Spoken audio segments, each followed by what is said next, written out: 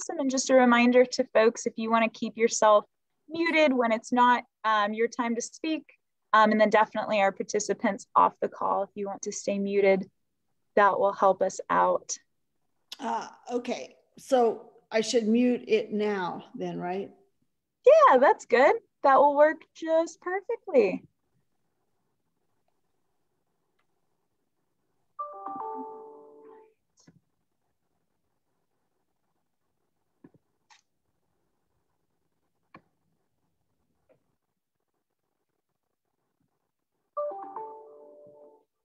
Go ahead and mute my phone so we don't have the serenade of email logins.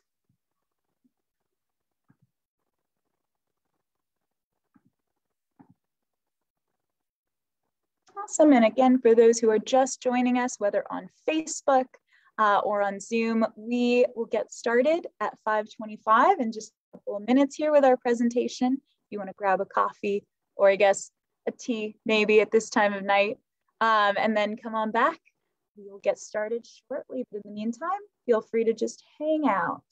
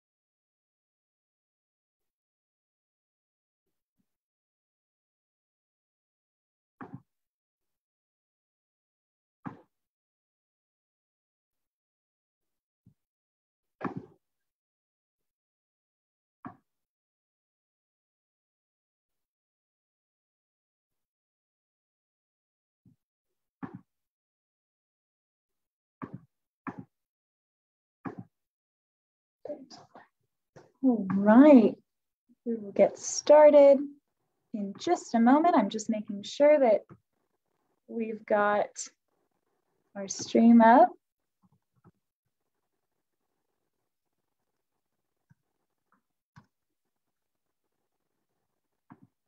Perfect.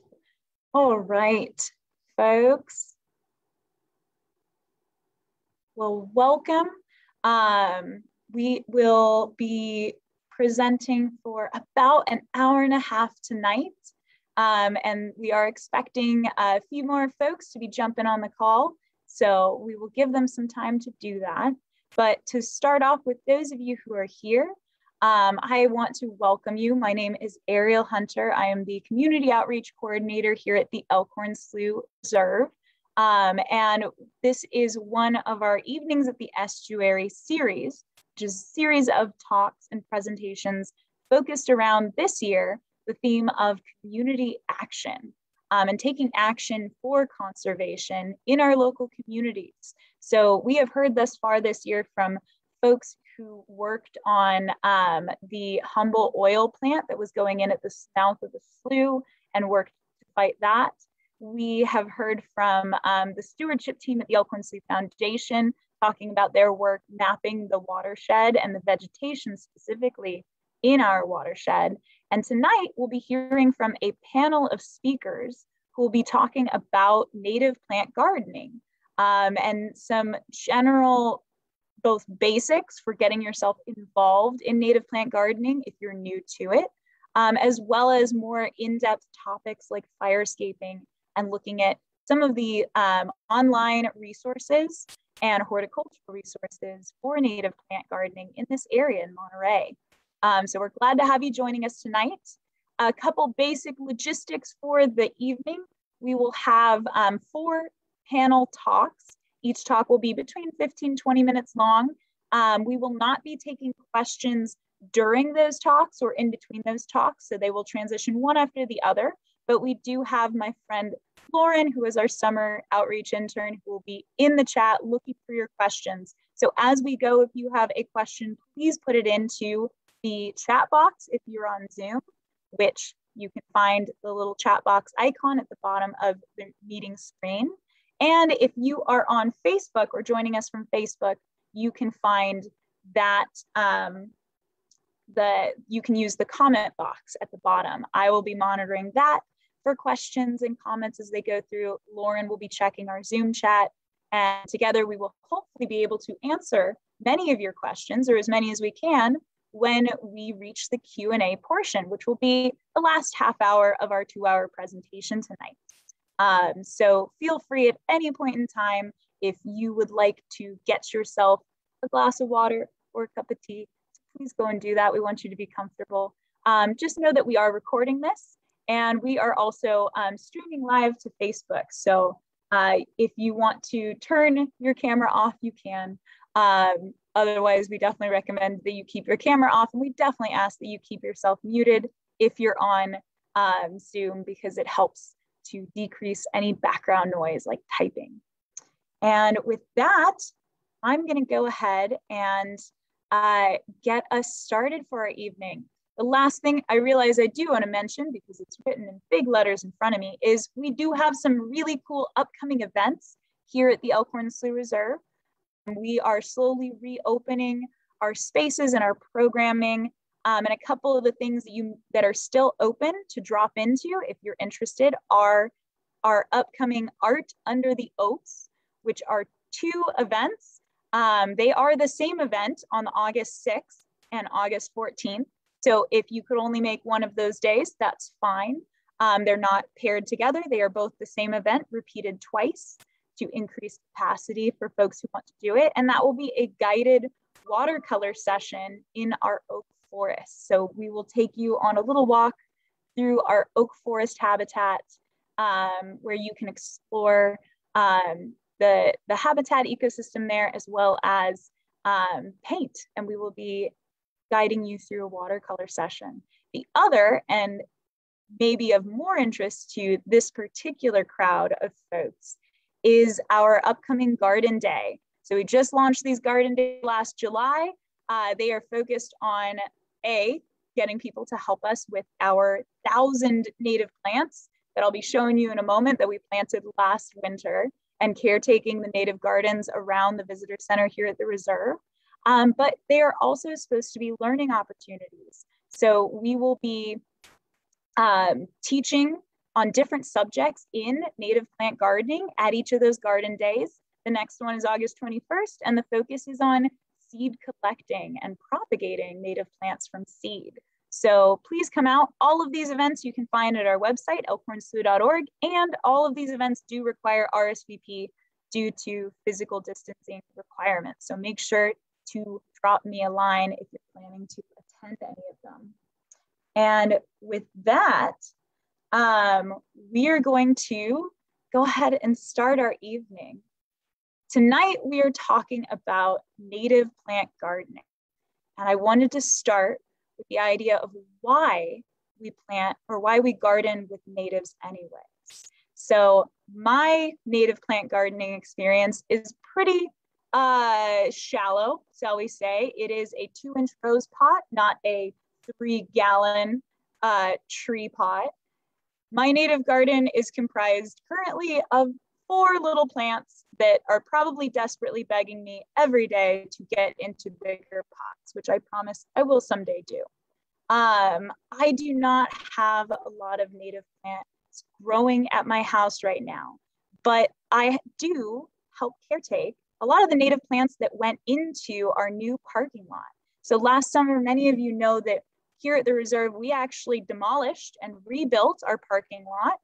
Um, we created a whole bunch of new garden beds and new green spaces for people to be able to plant into. And this concept of demolishing our parking lot and rebuilding it with more green spaces, we came up with that a couple years back. Um, and we did not know there would be a global pandemic when we went to go and dig into the ground, but it happened. And what that means is that when our parking lot was finished, here's what it looked like originally. We had a lot of um, sort of just invasive grassland space. Um, and then we had a couple of small gardens around the visitor center, but not terribly much. And when we remodeled it, or when we finished remodeling it, we now had tons of new garden space, hundreds of square acre or hundreds of square feet of planter beds to work in. And initially, these planter beds were just dirt and a lot of gravel. And we were in the middle of a our reserve being closed during the pandemic. We were also in the middle of trying to navigate shelter in place orders as they lifted and the different tiers um, that our county was in. And we had formally thought that we would have hundreds of people coming out to help us plant these garden beds. And suddenly we were only allowed to have like four. So our volunteers that volunteer here at the reserve really stepped up to the plate. Um, volunteers from just about every department came in to help us prepare these beds. Um, we were mulching in the hot sun of summer, and then we were composting, and then we were uh, tilling the soil and rototilling it so that it would be ready um, to plant good plants into. And then when uh, the fall hit and the winter hit, we went and planted it. And winter, of course, is when we went into shelter in place round two. So now instead of being allowed four volunteers at a time, we were allowed one volunteer at a time or one family unit. So again, our team really stepped up to the plate. They came out in droves every day of the week. They were separated by time and space, and we managed to plant a thousand native plants in a month in our new garden beds. And the fruit of all of their labor is in what those beds look like now. And I encourage all of you to come out to the reserve and see the new demonstration gardens as they begin to grow and form and evolve. Um, we have, like I said, over a thousand native plants that went in, and most of them have survived. And we now have big teeming gardens and what I can say about native gardening is this year, all of this, creating this, tilling this, and prepping this, and then seeing it bloom, that has been my mental solace. And I know many of you are probably uh, experienced gardeners who already know that native gardening is amazing and wonderful for your mind, body, and soul. Um, but those of you who are new to this, I really invite you to get engaged in it and find um, the enlightenment that comes with watching something grow that you built, and then watching all of the wildlife that comes in as you grow that space. Um, and now, like I said, my native plant garden is not at my house. It's here at the Elkhorn Slough Reserve. Um, I spend an inordinate amount of time walking through our sensory garden, our pollinator garden, our demonstration gardens, and just enjoying the things that come in and associate. And I hope that after tonight's talk, you all will be able to pull either new thoughts or new design ideas away from this, or you, if you're that newbie gardener, will feel inspired to get more engaged with what we're doing. And with that, I am going to turn it over to our first speaker for the evening. Um, so our first speaker, Karen Laing, um, has been gardening in Santa Cruz with exclusively native plants since mid 80s. She also volunteers with the California Native Plant Society, which is where I found her, um, and is also a volunteer at the UCSC Arboretum. If you need, oh, and she is excited to jump in and come on today and talk about some of the basics of native plant gardening for those of you who are looking at how to get more involved in the garden. So with that, I would like to invite Karen to take over the mic here. Okay. Well, welcome everybody. And um, this is um, my focus is on native plant gardening in a suburban or almost urban setting, which is actually kind of not very usual. Anyone who walks around their neighborhood who knows native plants would realize that they're not seeing a really lot. So that's why I got invited to be a presenter here because of my kind of un, more unusual setting and, and garden. And also, this is my first small garden, so it's been a really learning experience for me. So, what we're looking at now is my front yard in how it looked before my a recent mound in the front. And as you can see, there's um, three colors of native California poppies here in the front. There's like a white selection, a yellow one, and the more inland selection that's orange. And behind that is my only large shrubs. And I'm going to talk more about that too. The first one you can see is a silk tassel or Garrya elliptica, which is a little more unusual. And then right behind that is a coffee berry, which is a very wonderful, tolerant, easier to grow plant. And then if you look just to the right of the silk tassel, you'll see some little branches sticking out. And that's a coyote bush, which people rarely ever have in their garden, but I particularly love them. And I'm going to talk a little more about those because they are very tolerant and fast growing. And so, just some general comments about starting native plant gardening. Dive in with courage, just be brave and go for it. And to start, look at the sun and shade uh, that you have in your area, in your space that you're going to plant.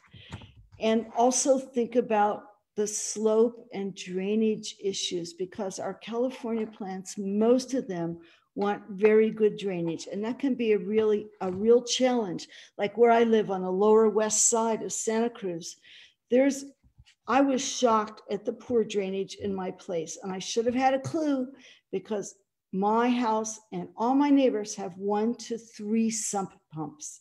And that gives you a little clue about drainage.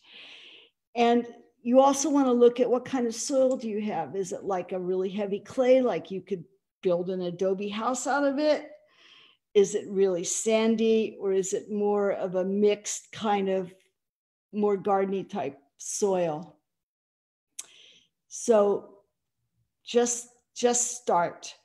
And I would recommend, as I remember clearly when I started, just expect some of the plants will not survive.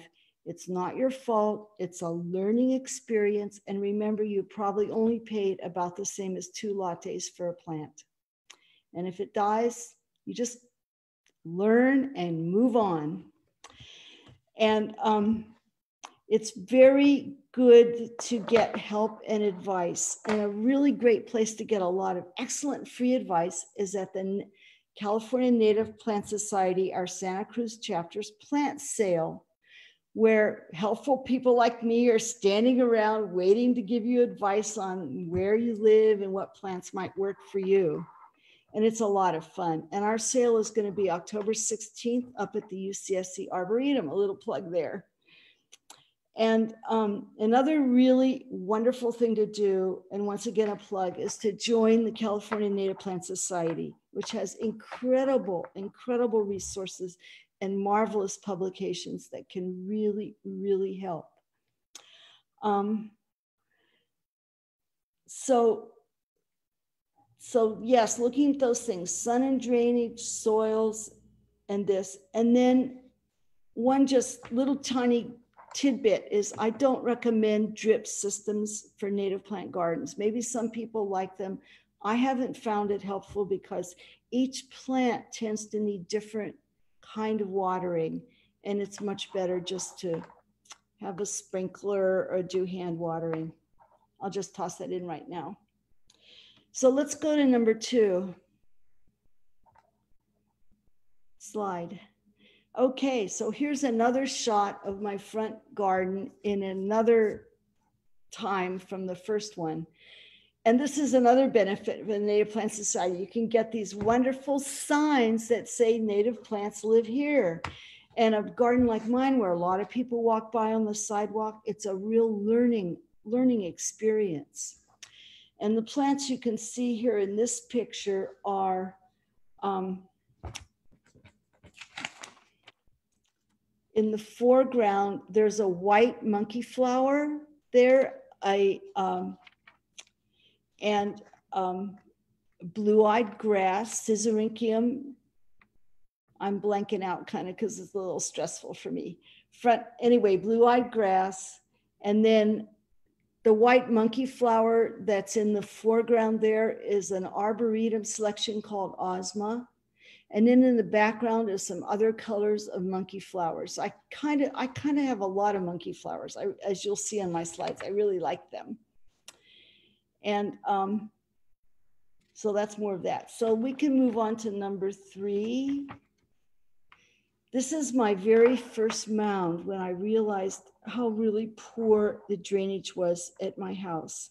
And this is right along my driveway. And you can see my neighbor's cars in the back, and you can see how urban and you know cottagey and there's just rows of houses in my neighborhood.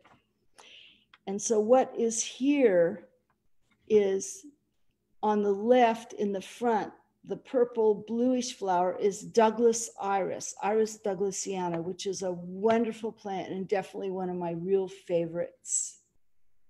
And then there's the next plant which is kind of you it's kind of small and you can see some yellow, little yellow blossoms is our coastal variety of the California native poppy, which is a lower growing one with a more grayish foliage and yellow flowers with the little orange center. And then right next to that is the standard, more standard orange California poppy, which is actually a more inland variety. And then in the background is on the left is a much bigger monkey flower, a kind of an orangey, beautiful kind of selection. Again, I think that was from the Arboretum. And then I have some other more special plants like the taller one that's kind of spiky sticking up there in front of my neighbor's car is actually, it's a woolly blue curls. And um, they're probably not for the beginner. They're a little fussier, but naturally I fell in love with them and they're one of my favorite plants and they're hard to grow. And if they don't like where they are, they just like die. But what can I say? It's, there it is. And then down front is a few more poppies and monkey flowers. But anyway, this is an example of a bed. And then I have in the front, right along the cement of the driveway, I have a strip where I put down weed cloth and I put really pretty pebbles in that front area. And I highly suggest this kind of thing in your more urbany garden so your neighbors don't freak out and think it's a big mess is to have the edge like decorated kind of or made extra nice with pebbles and rocks or chunks of wood or something. And then I tend to keep mine kind of more pruned and swept up so it looks civilized so that people don't freak out and go, oh my God, that native plant garden, that just looks like nothing, you know, give me lawn. Okay, so let's go on to the next one. So here's some more of the um, first more of my first mound with some monkey flowers. And there you see a really good picture of the woolly blue curls. And that's, like I said, a little fussier. And then in the background, the strip of white back there is a native bulb. And it's um, Triteleia peduncularis or long-rayed brodiaea. And that again is a little bit more of a specialty when you start moving into the native bulbs. But, you know, as you go through the years and you become more knowledgeable and then you realize what you really love, you know, things kind of change. And you can see I have stepping stones too in there because you want to always have access. Okay, let's go on to the next slide. Here's a another shot of some of my a very lovely thing. It's blue-eyed grass in the front, which when it blooms, it's it's very you sometimes some of them are taller, but a lot of them are quite short. So they're good for small spaces. You can also grow them in containers. And when they bloom in their deep blues, it's it truly is like a showstopper. And then behind that is a white selection of California poppy, which just like self-seeded itself in there and it popped up and it just made a knockout combination. I was really happy about that. Okay, so let's go on to the next one. Another really great plant for starting off in native plant gardening is our Iris Douglasiana again. And this is a selection called Canyon Snow that's very sturdy and wonderful. Um, our California Native Plant Societies, we always sell this selection because it's so successful and, and beautiful. And this is one of the two plants that started me off in the mid 80s with California native plants because I just happened to get some of this and I fell in love. And there, there it is. So let's go on to the next one.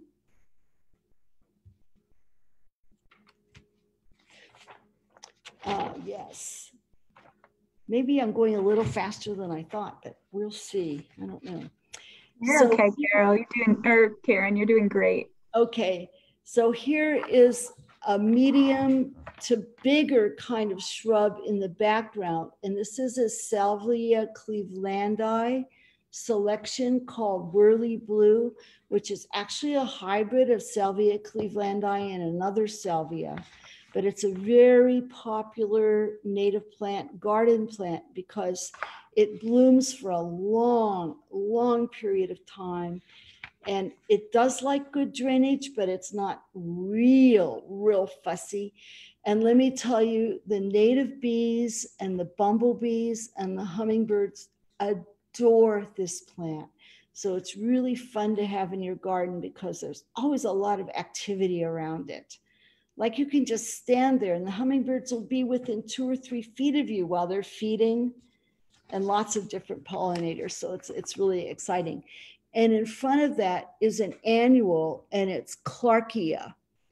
And this I've bought various times from here and there, like Annie's Annual sells it. You can get it there, you can get seeds.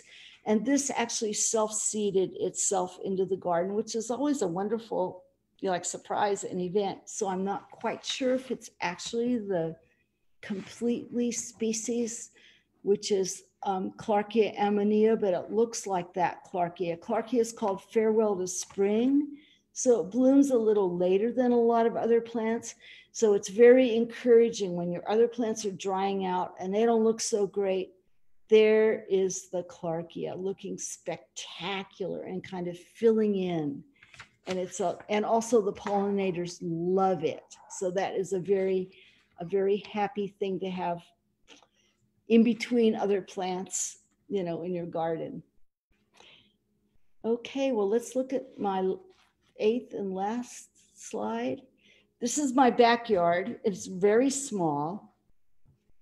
And this is my newest mound. And it's all filled with monkey flowers that were in the salvage, almost dead giveaways at the Arboretum Nursery, where I've been a volunteer in the past. And these plants were like all in one gallon pots. And they were like little sticks with a few tiny leaves. I mean, they looked like hopeless, but I just I just couldn't see them die. So I brought them home and they used to line my driveway, which I called my ICU. And then I did this new mound in my backyard because my grandson uh, grew a sandbox and just put them in the ground. And they just grew in one year into these giant, beautiful plants. I just couldn't believe it. And they've, they've got pollinators, little bees and bumblebees on them a lot. hummingbirds come in and and there they are. Oh, one other thing about mounds. I highly, I do highly recommend them if you have any, any idea that maybe the drainage isn't good at your place. But when you're making a new mound, be sure and put gopher wire under it. You will be glad if you do. You'll save yourself a lot of grief. and that's the time to do it when you're just putting, you know, building one. And I do the edging of my mounds with big rocks to kind of hold the soil because my mounds aren't very tall. They're only about maybe two feet or a little less even. And just getting the crowns of these plants up out of the less well drained soil, even with just that small elevation, it's it's quite helpful and they're much, much happier. Um, so that's kind of, let me see if there was any other big hints. I have a list of um, plants that I really like that I think we could probably have on our resources, right? After this. Absolutely. Oh, and let me just, if I have a few more minutes, let me talk about coyote bushes. Go ahead. If you have a difficult space, and you'd like a larger shrub for privacy or whatever, think about a coyote bush. And these are, they grow everywhere as weeds.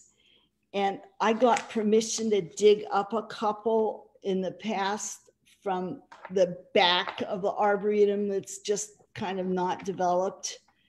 And they said, sure, take all you want and they're currently growing in my backyard. And in one month, they're up to almost four feet. And they were just little things like this, little weedy little babies. And the one I have in my front yard, I've pruned so that you can see the, the trunks. is a, it's a multi-trunk shrub as the trunks come up, I cut away a lot of the extra little stuff so you could see the structure. And I do prune it to keep it under control so it can live in a, you know, tiny little front yard. But again, the native pollinators adore it. And the birds love to go first into the coyote bush and then into my bird feeder because they feel safe in there. So like I said, if you have a difficult place, other things have died, you're in despair, you can't get anything to grow there, think about that. You can also get them at Central Coast Wilds Nursery. That it will probably be in our information somewhere here in Santa Cruz. They actually have them too. Yes. But you can get them for free.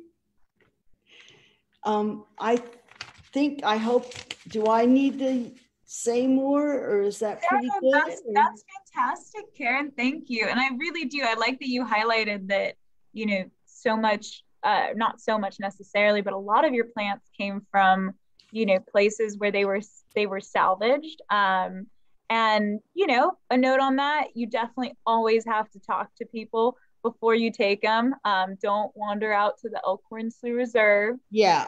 And yeah. collect stuff. But curating or or um, networking with native plant places like the reserve and like the UCSC Arboretum, like the California Native Plant Society, will help you find those niches where you can go and you know find your hookup for getting native plants. And I myself just got one, two of them that were very scraggly. They were from the leftovers pile. Oftentimes nurseries, if one of them's not, if the plant isn't looking really good and sellable, they'll put it on discount. And so I just, I got some beautiful plants that are mm-hmm. now beautiful um, for really, really cheap for the price of only one latte.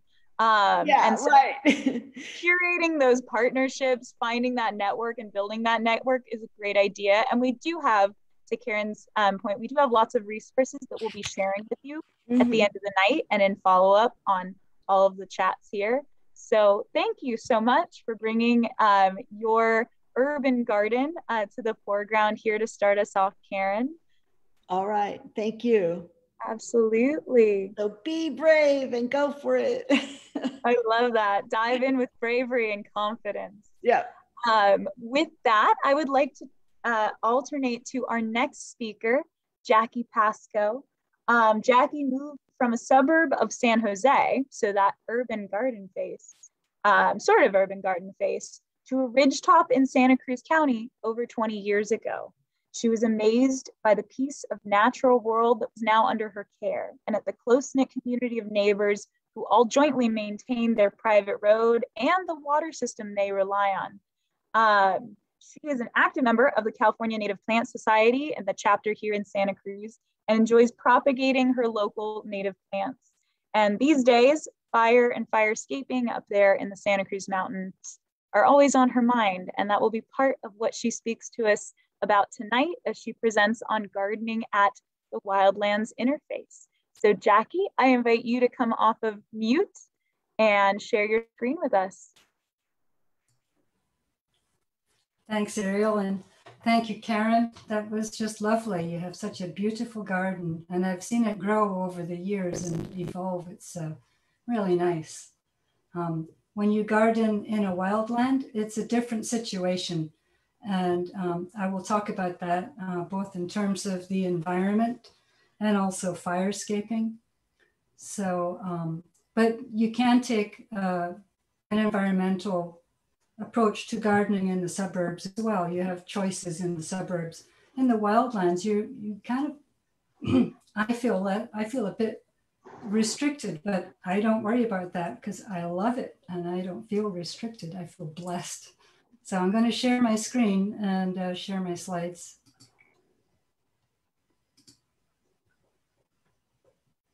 Is that working? Oh, here we go. Press the share button. Okay, so now hopefully you can see my uh, my title slide. So one thing about living, you can see it? Good. Okay, great. The one thing about um, up in the wild lands is you get to see the most amazing things you would never expect. And uh, what we see in the corner of this first slide is an oak motor oak moth caterpillar sunbow, and it was my grandson that noticed it. Um, just the way the sun was shining oak trees and oak moths were all all the caterpillars come down because that's what they do. They they hatch out and they come down to the ground and they um, bury themselves in the ground and pupate. And with the sun catching it, it was just an astonishing effect. So I enjoy that for my first slide. Now then. So they call it the WUI, the wildland urban interface, but I don't see any town near where I live. Um, the view out from, from where I'm sitting right now is all the way to the bay and it's mostly trees all the way, but there are lawns up here in the, in the wildland. So the top I think I'll be able to cover tonight, hopefully, are about stewarding this wildland so that um, you know there's not that much left in the big picture. We feel like we have a lot because look, look all around us, but in the big picture, we're losing our wildland, um, you know, hand over fist. The seed that you see in the down there is um, Epilobium canum seed. It's uh, California fuchsia, and um, they grow here wild, and propagate them and then I plant them in the garden. So I have more um, florific display and the hummingbirds love those. The thing about living in the wildland and, and gardening there is how everything is interconnected and you really feel it. You know, we know it, but you really feel it. And uh, I have a quote there by John Muir, who's also Scottish like me, but oh, hopefully I have better um, attitudes to Indigenous people than he did. Um, but still, he did say, when we try to pick out anything by itself, we find it hitched to everything else in the universe. And I just love that quote. So when we live in the wildlands, I like to take a stewarding attitude rather than an ownership attitude. Um, my boundary lines are, we actually, we mostly don't exactly know up here where our boundary lines are. And there are a lot of things that cross boundary lines, like our water system, for one thing, and our road runs right through um, my property lines. And also, um, I like to look after nature. So I prioritize nature and limit the areas that we alter a lot for our benefit. Although we do have a swimming pool that was here when we arrived here. Um, and my grandkids love it. We have an extended family here, so grandkids and turn husband and husband, my husband all live here. So just be amazed. If you're living in the wildland and you're not amazed, then uh, you, I'll, I'll, give you a shake. It, you just be amazed at everything. And uh, above the ground, below the ground, in the sky. And if you are not gobsmacked, I suggest you read these people. Uh, Robin Wall Kimmerer, who is a uh, Indigenous uh, American and a professor of biology, and she wrote um, Braiding Sweetgrass, which is a fantastic book uh, that brings Indigenous viewpoints to the fore and scientific biology from that bi biology professor viewpoint. Suzanne Simard, who discovered that trees are, are talking to each other through their mycorrhizae, and she is a forester and a professor. Uh, Douglas Tallamy, who is an entomologist and who's encouraging everybody in the suburbs all across America to grow their local natives and make corridors so that isolated um, populations of insects and birds can move and uh, form better gene pools and survive.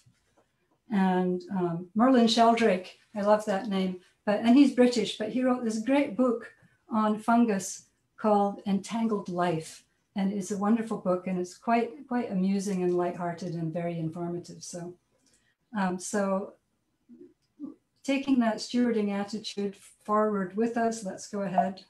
Oh, I need to have my cursor down here. So here are some of the fun things I see around my, my, my uh, property. Um, bunnies nibbling on the bunch grasses, uh, chipmunks nibbling on the flowers of the um, miner's lettuce. They only eat the flowers. And bush, which everybody might see bush tits. I just love them. They come through in little flocks. The bush tits eating our local manzanita. And the, uh, the caterpillars are um, northern checker spot butterfly caterpillars. And they, they came in, one year we had tons of them and they ate all the, um, um, uh, sorry, I'm having a name. I'll just keep going. They all of those things you see in the picture. Um, and they really never came back. And it was just so sad. But so if you get caterpillars on your plants, it's good to leave them if you can, because the birds need them to feed their babies. And then we have our fence lizard. Who cannot like the fence lizard? And I recommend you sing to your fence lizards because they like it and they'll stop and listen. Um, we have all kinds of native bees, the little Okay. I was just informed that the meeting is being recorded. Um, all kinds of bees. And if you stand in front of a ceanothus bush, you will see more kind of bees than you ever imagined existed. It's just great. Then there's other critters like bats, little bats, and they fly around in the evening. And that big snake there is not a rattlesnake, it's a gopher snake. And they're very good because we want to keep our gophers under control. And the other lizard there is the other one I see around here, which is an alligator lizard. And they're very shy, and I don't often see them. So it was fun to see this guy popping out there. He's about six inches, eight inches long. Of course, we have deer browsing our plants. And I don't have a huge problem with that usually. Occasionally, I get a bit annoyed at them, but I like to see them. And of course, we have our iconic uh, uh, slugs. I'm name blanking again, sorry. Banana slugs and uh, bunnies. The bunnies actually eat a lot of weeds, so they're good. And then we have other critters that you might get a little scared by. The one on the left is a rain beetle, and they're cool. They just come out like for a few days each year, mate, and that's it. They're done. But they've been living underground for a long time. And the one in the middle, I call them crickety things because I don't know any insects terribly well yet. And then there are centipedes and millipedes, all kinds. So when we garden in the wild, I'm going to come to my main point right now that I, am evangelical about, if you like. It's don't pee in the gene pool. Keep the gene pool for the local natives. You still have a lot of latitude in what you can put in your garden. If you like roses, if you like dahlias, keep them near your house in your personal garden space and enjoy them there. But um, try and not plant things that are going to um, hybridize with your local natives. For example, Karen in the suburbs can enjoy those gorgeous monkey flowers because um, they're all um, horticulturally bred to be beautiful. Um, some of them might be called the jelly bean varieties, and they they they put them together and they come up with beautiful colors. Um, but um, and I did that once when I was learning the ropes, and then I noticed that my local wild ones were coming up in funny colors too. And I didn't want to spoil the gene pool. It's very important because we have a lot of biodiversity in those local natives that can make them resilient to climate change. Um, they can evolve pretty rapidly if they're, you know, if they don't, if their generations come, you know, they're just plants rather than trees. and they can evolve pretty rapidly and adapt to changing climate conditions if we let them. The other thing I do is I remove weeds. I remove the things that get in the way. And there are some weeds you just kind of live with uh, and you get rid of them a bit, they'll just kind of, they're hard to get rid of. Um, and then there's the really, there's the, the really bad ones like broom. Fortunately, I don't have any. I also don't have acacia. I do have a couple of eucalyptus trees that are enormous, but they're kind of way over there.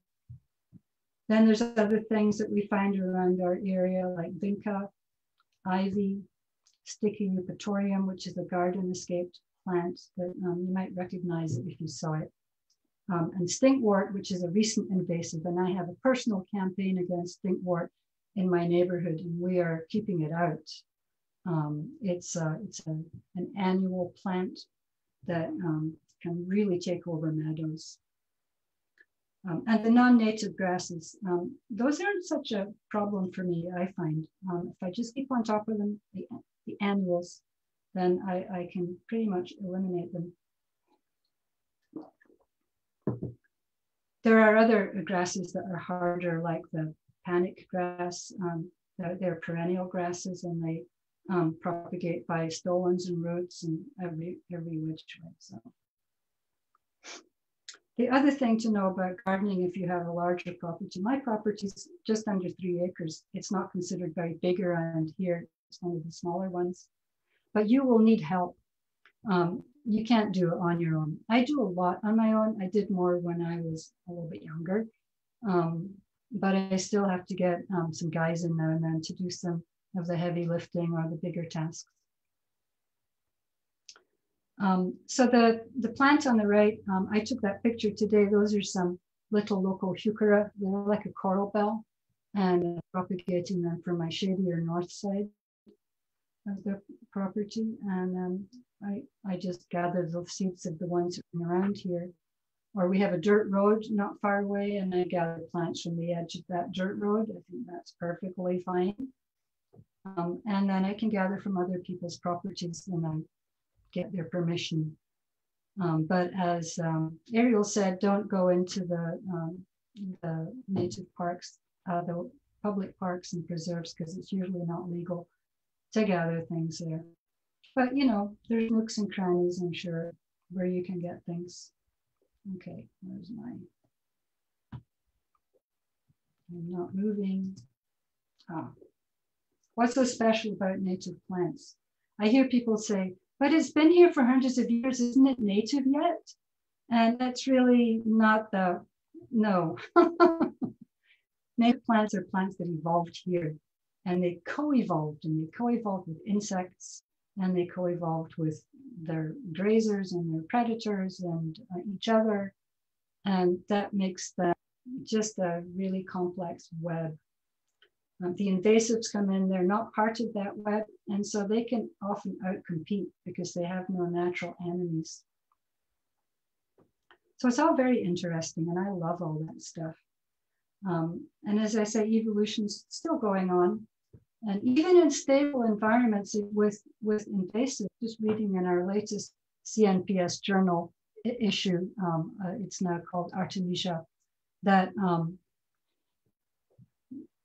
that if you have just one invasive and one uh, with a population of native plants, they're kind of starting to co-evolve a little bit. But where you have a big mixture, uh, you, it doesn't happen. So here's what I was saying about horticultural values and ecological values, and I think we've talked about this. Um, so I won't, I won't say anything. The picture, the background on the left, I took at the Arboretum, one of the wonderful, colorful um, Mediterranean selections from uh, probably South Africa or Australia. And on the right, we have um, redwood sorrel, which is growing in my property. So some tips. Um, you don't really need to interfere a lot if you're gardening in the wildlands. You've got native soil. It doesn't need a lot. It doesn't want to be rich. The native plants evolved in the soil and they can grow there. Bees like some native soil. And um, another thing is to try and time your, your brush and tree work around the breeding season, um, the bird nesting season, because our birds are, we don't have so many anymore by a long shot, nor do we have the insects. Um, so give them a chance again um, and do it uh, in the fall and in the late winter or, you know, like that it's not always possible. And there are some places where I do a bit of cutting back. But another thing that's helpful in any native plant garden is uh, you can extend, artificially extend your winter and make it wetter than it is by irrigating. And native plants love that. And they'll do better in the summer if you give them winter water. And some of them like some deep watering once a month. I tend not to do that. I tend to wander around with the hose.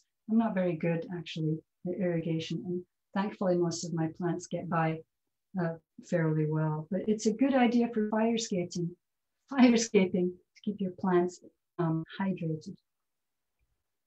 Uh, we're going to talk about resources. Someone else is going to do a great presentation, um, Patrick, about finding local natives to grow. So on to firescaping. The picture is one I took last weekend up on that dirt road I was telling you about, which is an access road um, for us to evacuate from, one of two or three routes by which we can get.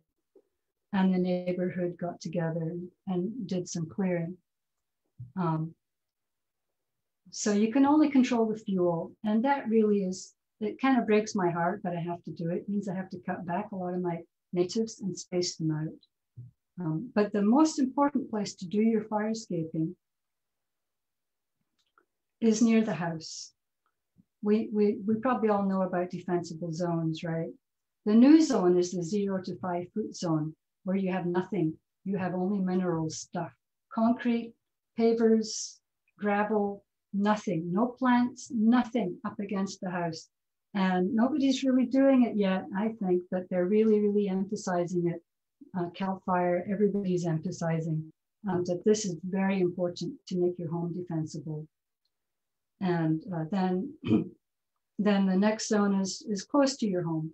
And there you keep it, uh, basically they call it uh, lean, lean, lean, clean and green, I think is the whole thing. Low and spaced and irrigated. You know, you, you don't want um, fire embers to come in and catch fire. So, um, and then hardening your home, I'm not going to cover that obviously, but that's really important. That's where embers ignite your home because you've prepared it correctly. My home is toast, I have to tell you.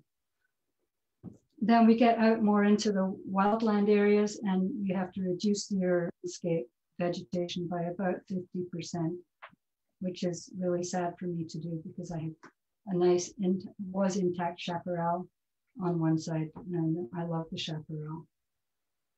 And then you can read elsewhere about how to space out and avoid fire ladders by creating vertical space as well as horizontal space between your plant groupings. You're learning more and more about how indigenous peoples used fire and also cared for the land. And that's very interesting to me as well. And I recommend that you look into it yourself. Um, they not only burned, but uh, they extended the California prairie lands, which were very productive for them for food. and they and they tended them. They tilled them and they planted seeds, and um, that's why we had a lot of open space when the first Europeans came, um, and they wanted open to, so they could see the bears and so they could um, shoot. Um, they didn't shoot. They shot. They killed the deer and so forth. Anyway, so here's a picture that I is a scary picture. This was my uh, south-facing chaparral a while ago. It's definitely not fire safe. So I always tell myself, keep calm and drink tea. This is my garden, garden ornament. And here it is with some um, clearing done. It's not enough, but you know, you can take it in stages. And it's better for the environment if you do. And uh, you can focus on certain very flammable plants like chamise um, and uh, sage, the black sage. Uh, but you still have to work on getting it done. Or you can have a maintenance-free fire-resistant garden that consists of fake grass, fake rocks, and effervescent. This is a picture I took not that long ago of a garden down along the ocean. anyway, it's not what I would want. Uh, good things to know about natives, they'll hydrate with less water and retain it than non-natives. And that hydrated wood really doesn't burn all that easily. And I think we've talked about that. You can increase fire resistance by knowing the characteristics of plants. It's better to know the characteristics of your plants than, the, the, than go by lists. The lists are all different from each other. And um, I, I, was in a firescaping class recently um, by Monterey Bay Community College. It was a really good class. And one of the speakers was Douglas Kent, who wrote the book Firescaping. I don't know if I put this up, if you can see it. It's on the list. I just wanted to take a look. It's an excellent, excellent book. And he does give some, um, you know, he, he talks about the, the landscape and the native plants and uh, uh, the e ecosystem and so forth. So the condition of the plants is more important than the species, but there are certain characteristics that make plants more um, more fire resistant. On the left, we see a nice, juicy, young coffee berry stem with nice green leaves. And so um, this, this slide shows you some uh, characteristics of plants that are useful. One thing I learned at that landscaping course was that plants that are gray or silver have a, a mineral in them that makes them fire resistant which is great because um, I like some of those things. I have an island bush poppy out there and it's got beautiful yellow poppy flowers almost year round. And I was really worried that it was very fire hazardous, but it's apparently those gray leaves. Of course, it does need pruning. Evergreen plants are good. Of course, succulent plants are more fire resistant. Um, plants with open form or plants that are low and dense and basically, you avoid all the fine twiggy stuff like tinder. Just think tinder, avoid tinder. Um, I, I, attended a, a, CNPS presentation by Nikki Hansen, who's a landscape uh, designer, I think, over the hill. And uh, uh, these are some of her favorite virtues noted local natives, um, you know, when they're placed and maintained. And on the right, we see a small coast live oak that we were pruning up. Those things grow fast and you have to keep after them too. I think there's uh, several oaks down that way now. That's the same southern exposure that you saw. Uh, local natives for the 30 uh, zone, the close in zone, you, there's lots of perennials to choose from. Um, bulbs and you can have pot plants. Pots with bulbs in work a lot better. And you can have, you know, your non-native plants there that you like. Um, you know, you can have choice there as long as it doesn't escape the wild or hybridize with the local natives. I'm good with that. You know, I like some things. We're probably going to put some dahlias in our only fenced bit of the garden because the deer eat them. Um, so here are some things that are really cool. I have a lot of uh, bunch grasses that are native to um, my property. and I propagate those and grow them. You just have to cut them down before it becomes fire season, and they work really well. Lots of gorgeous local native. Um, this is a, a, recent picture. So there's the chaparral slope that you saw, and then there's the flat part where they cut the top of the ridge off to put the house on it. And they shoved all that over on the north side, which was kind of ruined, but um, nature is resilient. So what we see here is buckwheats, and the most of the buckwheats you see are uh, naked buckwheat, which is a local wild species that I propagate and love in my garden. They have beautiful form, and they're great for pollinators. And there's a little bit of elegant madia, the yellow, the yellow daisy looking flower, which is kind of a weedy plant, but I like it. It's big and sticky, but it has these lovely yellow daisies. And background there, there's a not a not local um, Eriogonum or buckwheat, which is Channel Island buckwheat, Eriogonum arborescens, which is just a gorgeous garden plant and it behaves itself. And um, I like it, and uh, so do the pollinators. So my last slide really is after fire. After fire is uh, a lot, many people have experienced, didn't have fire here. And we didn't get evacuated, we were next, you know. Scotts Valley is that way to us, and we're across 17 from Scotts Valley. Um, we didn't get evacuated in, in the last fire. But the important thing is that nature is resilient. California nature knows what to do after a fire. And one of the best things you can do is nothing. I'm not saying you should always do nothing, but you should get advice before you do something after a fire. Um, and then you get different plants coming up. And some of those plants are ones that you can um, grow as um, plants in your garden because they're generally um, the perennials and um, short-lived plants that are not so woody. And then there's this thing called, you know, succession, where after they've pioneer plants have come in, then you might get coyote bush, which I agree with Karen is a wonderful plant. It grows all over here, and I have to keep keep it down but I let it grow where I can because it's green all year round. It's if you keep it hydrated, it's fairly fire resistant. You can prune it.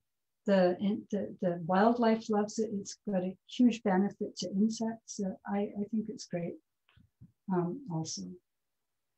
Um, there, so you can do things bad or you can wait and get advice. So um, the seed bank will regenerate. It might take a while, but it's worth waiting and watching for that.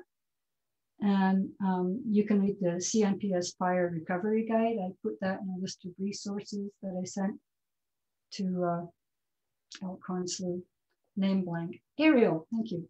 Um, and there are things like, there's this thing called Santa Cruz Erosion Control Mix, which is like a really good thing. But just Google it. Everyone says, don't get it, don't do it. I don't even know if they sell it anymore, but it seems to be a thing. And I know one of my neighbors put it in and I see the consequences, and they're just not good. It just looks like weedy, non native grasses. And um, so just have to take care. And I don't have a closing slide. That's it. So I am all done. And I hope that you enjoyed the tour. And I probably forgot to say a few things. But um, oh, go on hikes. If you want to learn your local natives, go on wildlife hikes or native plant hikes CNPS puts on some hikes um, and uh, we go to Henry Cowell and to places you might not normally go and, and uh, be prepared to walk very, very slowly because we love plants. We're always bobbing down to look at things and, and go, oh, how did you see this one? oh, so I nobody walks than a botanist. yeah, I think the uh, the longest, shortest hike I ever took was also one of the best I've ever taken was at Fort Ord with a botanist, and we went less mile in four hours. Uh, but I learned so much, um, and that's actually a fantastic segue. Thank you, Jackie. Um, that idea of going out and exploring your local areas to understand um, which uh, which plant communities are around you is actually um, part of the topic of our next speaker. Um, so with that, I would like to invite Jackie, if you want to stop screen sharing um, Ooh, up at the top there. the reminder. and I would like to uh, welcome Carol Nickbarg, who is um, actually an Elkhorn Slough volunteer. So the next time you're out here at the reserve um, and you're admiring the garden spaces, she's responsible for keeping them pruned and controlled. And I have certainly put in lots of future work for her out here with our thousand plants. Um, she is also a master gardener and a pruner and landscaper consultant um, who easily gets lost time outdoors watching and listening to nature. So I'm going to invite you, Carol, to go ahead and share your screen with us. Okay. Um, can you hear me? Okay. You sound okay. clear. Awesome. All right. Well, first off, um, thank you, Ariel, for inviting me. Uh, this is a real treat for me to be part of this panel, so um, very much appreciate it. Um, so yeah, I'm going to talk about plant communities and borrowing from them um, and using them um, as models for our own gardens. And so uh, collectively, Monterey, Santa Cruz, and San Benito counties reach from the coast um, to the mountains and uh, to interior valleys. And plant communities help us make sense of the different physical arrangements of plants found in the wild, recognize the geological and climatic conditions where these arrangements of plants thrive. And then together, um, these can give us a head start in successfully matching local native plants to the features and conditions in our gardens. So um, another way to put it would just be, uh, we can compare um, what's going on in our gardens in terms of uh, geology, topography, sun exposure, wind, uh, nearness to the coast, or whether we're inland. And uh, if we can find plants in comparable conditions, those would be good candidates for um, our gardens uh, for native plants. All right, so making sense of vegetation. Uh, vegetation conforms. Just real quick. Yeah. I, yeah um, you may need to go ahead and share screen again. Okay. Let me, um, shoot, hang on, sorry. No, no problem. All right, let me share screen again.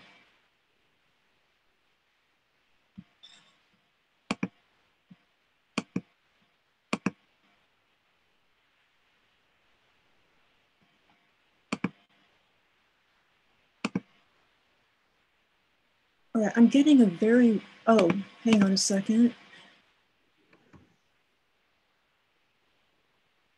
Okay, this is the problem I'm running into. It's uh, balking at me because it wants me to select the screen and the problem is it's not giving me screens to choose from to select. Oh, well that's new and different. Uh, hang on a second, I've found, here we go. Let's try that. Okay.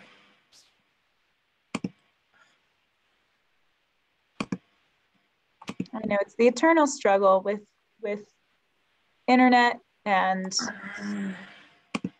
bandwidth and Zoom and every other aspect of our virtual world. Okay, hang on. This is weird.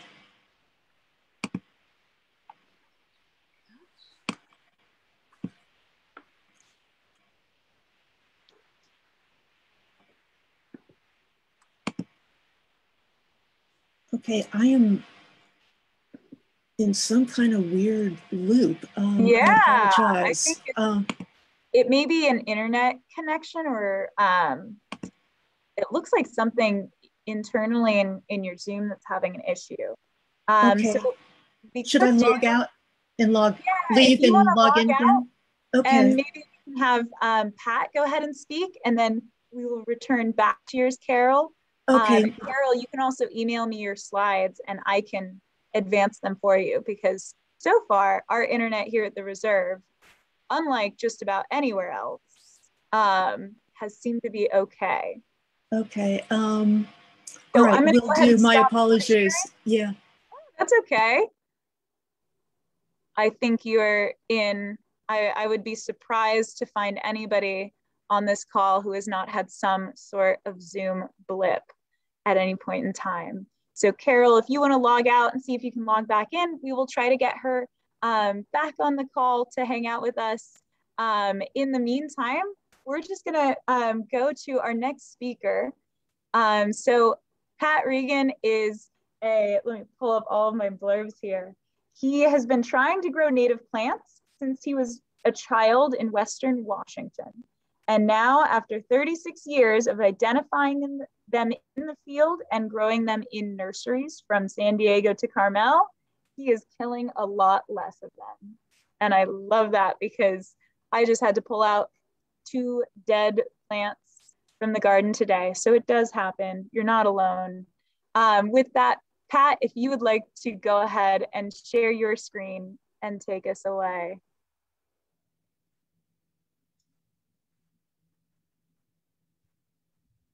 Thank you. Um, so unfortunately, I was loving the idea of tagging on to the backside of plant communities and the segue between each of the first three is, is perfect. Um, I have so many comments that I want to make about everything that the others have already said, but I need to stick to my topic. Um, one of the things that happens, you see all these beautiful photographs you see what it's like to have uh, a house in the woods where you're surrounded by nature's bounty, or you have the opportunity to rescue plants from the arboretum at UCSC where you have uh, amazing propagation going on. So the things that are chucked out there are things that you know you're going to have some fun with. But so I began uh, growing California native plants when I started working at a nature center in San Diego County in 1984. And the nature center was actually um, a former um, horse uh, pasture barn setup that had, um, well, decades of horse manure and um, a really nice setting in the middle of the coastal sage scrub down there in San Diego County and they said, we're going to turn this into a nature center and we want you to landscape it. And I thought, I have no idea where I'm going to find the plants to landscape this with. And um, I, I, hate to admit this, but I literally got to the point where after we first got started, I would sneak out at night during the winter, during rainstorms, and go up into the hills because this this was a former cattle ranch as well and I would go up in places where the the habitat hadn't been destroyed, and I would dig up the plants that I wanted to put into the nature center. And I would come back during the rainstorm and I would put them into cans and try to get them sturdy enough over time that they would have new roots forming in the cans and then I could start landscaping with them. And at that time, um, I thought, boy, I really wish there was a resource where I could find somebody who was already doing this because I killed many of the plants, even though I thought I was doing the right thing, getting them in the middle of the winter. I wasn't taking them off somebody else's property. I was taking them from property that I lived on and worked on. And uh, I began to do some searching around and, and found a couple places, um, a native plant nursery down in southern San Diego County in National City that was run by a local botanist down there. And I found one up in the, the boonies of San Luis Obispo County called Las Pilitas Nursery. And at that time, there was another brand new getting started in Orange County called Tree of Life Nursery. And I contacted all these people and I started developing relationships with them. And they would send me printed um, paper with their plant list on it. And I would go through and write out a, a, an order and I would fax it to them because the fax was really cool then. And um, that is how I started getting contacts with really good native plant nurseries. Well, I learned a lot of painful lessons from that. In fact, having them come and look at the things that I was doing and having them walk around and say, you can't do that. You, you can't do that. You, you cannot do that. And it was painful, but um, it was good education. But now we have um, opportunities, and particularly in the fact that we've gone through this last year and a half where we were told, for the most part, to stay home from your volunteer activities, stay home from your growing groups, stay home from your nurseries. And I discovered that I needed to understand how to use technology. And our Native Plant Society, the, the Monterey Bay chapter, we decided to suck it up. And last fall, we had our annual sale, which is always a big deal for us. We had it online. And we worked with the state, and actually, the state managed, I think, eight or nine different chapters that did their sales online. And it was really painful because we had to literally develop all the information for the plants, find, I wanted to say steal, some of us stole photographs, um, find the photographs that we knew were legal that we could use and, and put them up on the website and put up good enough information that people would look at it on their computer screen and go, I have to buy that. And so the process that I went through, uh, I learned a lot in a very short time. And I have been running a small nursery in my backyard for 10 years since I stopped running a nursery for a larger company. And it's an addiction that I cannot get away from. But I could not have people come and visit me at the house. I couldn't go out and do things. So I decided to do my own online nursery store. And in the process, I learned about a lot of other resources uh, to kind of locate things that I wish I'd had when I was a younger, foolish, less foolish, no more foolish um, man when I was first uh, starting off with native plants. And one of those that has kind of exploded out of the gates in the last year and a half because of this uh, great need is CalFlora. Um, and CalFlora has been around for a while. It has gone through um, a, a, number of different renditions, but it has been one that is more tied in with um, kind of the botany side of uh, our native flora more than the gardening side for a long time. And it has been uh, actually a source of information. I do field botany. I go out and look at sites. And um, one of the things that I do when I find unique plants is I have to record it for a variety of different reasons. But on CalFlora, you can search for plants and literally look up the locations where those plants were found, the person who found it, the day they documented what was going on around it. On this screen right here is just a, a, small list of names and things, but it is the most rich resource for botany, but it's now become a fantastic resource for people who are looking for native plants to garden with. And um, what I thought I would do is borrowing from the, the plant communities and knowing where the, the reserve is just east of the reserve in the sandy hills of the Pajaro Hills, is um, on some of the ridge tops up there, you have a, a plant community that's known as, as Central Maritime Chaparral.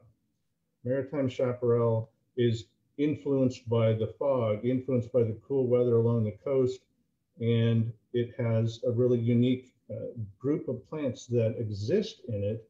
One of my absolute favorites, and most plant people will throw out about 40 or 50 things that they'll say is my favorite.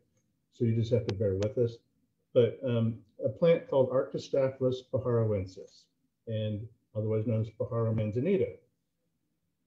I fell in love with that plant when I was down in San Diego. I didn't, I didn't know where it was from. I first saw it. I, I couldn't believe the color on it in the middle of the summer. It had gray blue leaves, and then at the ends of every branch, this gold and orange and yellow from the new growth. It was stunning. And I thought, that's got flowers on it. And it wasn't, it was just the new leaves. Well, had I known then what I know now, um, and this if this were available, I would have said, okay, I'm going to go find Arctostaphylos pajaroensis. And you can literally, um, I'm trying to see what I'm doing here, look up the exact plant.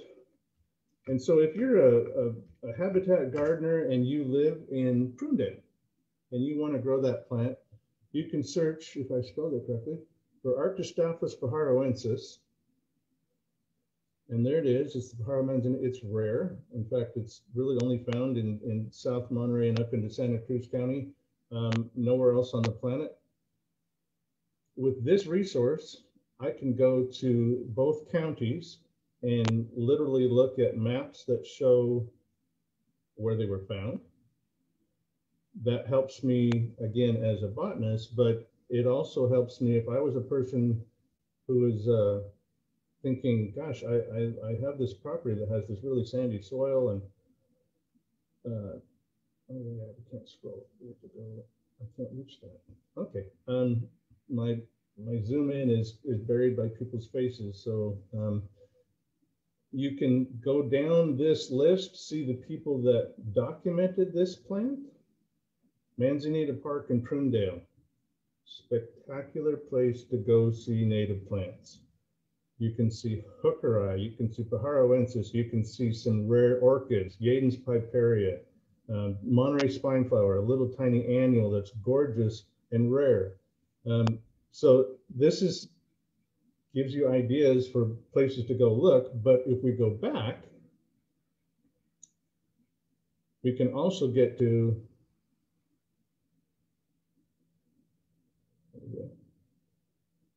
some of the even better information. Um, what this does is it links to two different um, resources that will give us nurseries that we can find the plants at.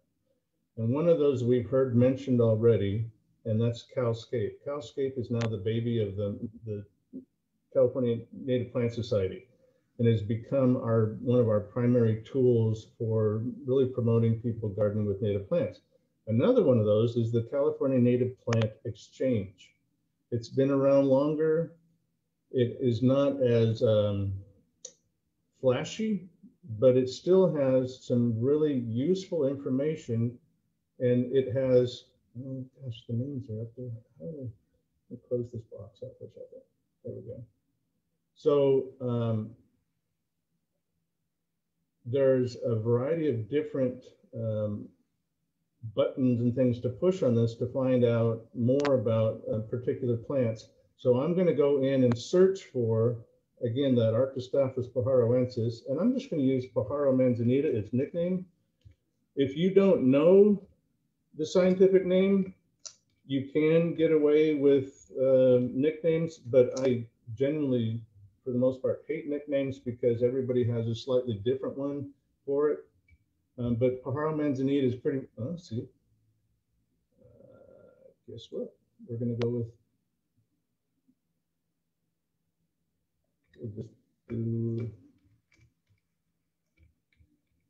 so I should confess that this is about the third day that I've used this. Um, we're not doing it in common. Uh, I am much better with my fingers in the soil than on a keyboard. But once you get into this, I called it a rabbit hole the other day, the possibilities are endless for finding information. So here we have, we brought up um, and now this provides um, a lot of the same information that we will see in Calscape, but in a slightly different format. It gives you um, a whole group of, of photographs. For example, um, not just from Cal Photos, but from people who put them on websites for nurseries, from people who put them on their whatever social media things. And you can kind of get a sense for what I was talking about earlier, that summer color on, this is the first one I found. This is a selection of Pajaro manzanita called Paradise. And it's not because it looks like it's a bird of paradise. It literally was found on Paradise Road in Prunedale. I guess that's actually even closer to the reserve, but um, the color on it is incredible. So I want to find this plant. I'm going to go back from the pictures. And I'm going to look at some other things. It gives me plant characteristics. This is what's amazing. Um, if you were to put in your address and I'm not sure which address it thinks it's using right now, you can compare where you are to what its actual average precipitation is in its wild form, how long the wet season is, what its temperature range is, what is the typical low temperature for it, what is the typical high temperature, um, its growing season, its hardiness zone. Now, this probably is taking it off my address from earlier because I'm in, in hardiness zone 9B in Carmel Valley. And it tells me that it has associated organisms, native bees, hummingbirds, and I can tell you from experience that they love that plant and they spend a lot of time on it. It's one of the, the best, it's one of the earliest bloomers every year. So when hummingbirds are migrating out, um, they're still stopping and getting fueled up on the Pajaro manzanita.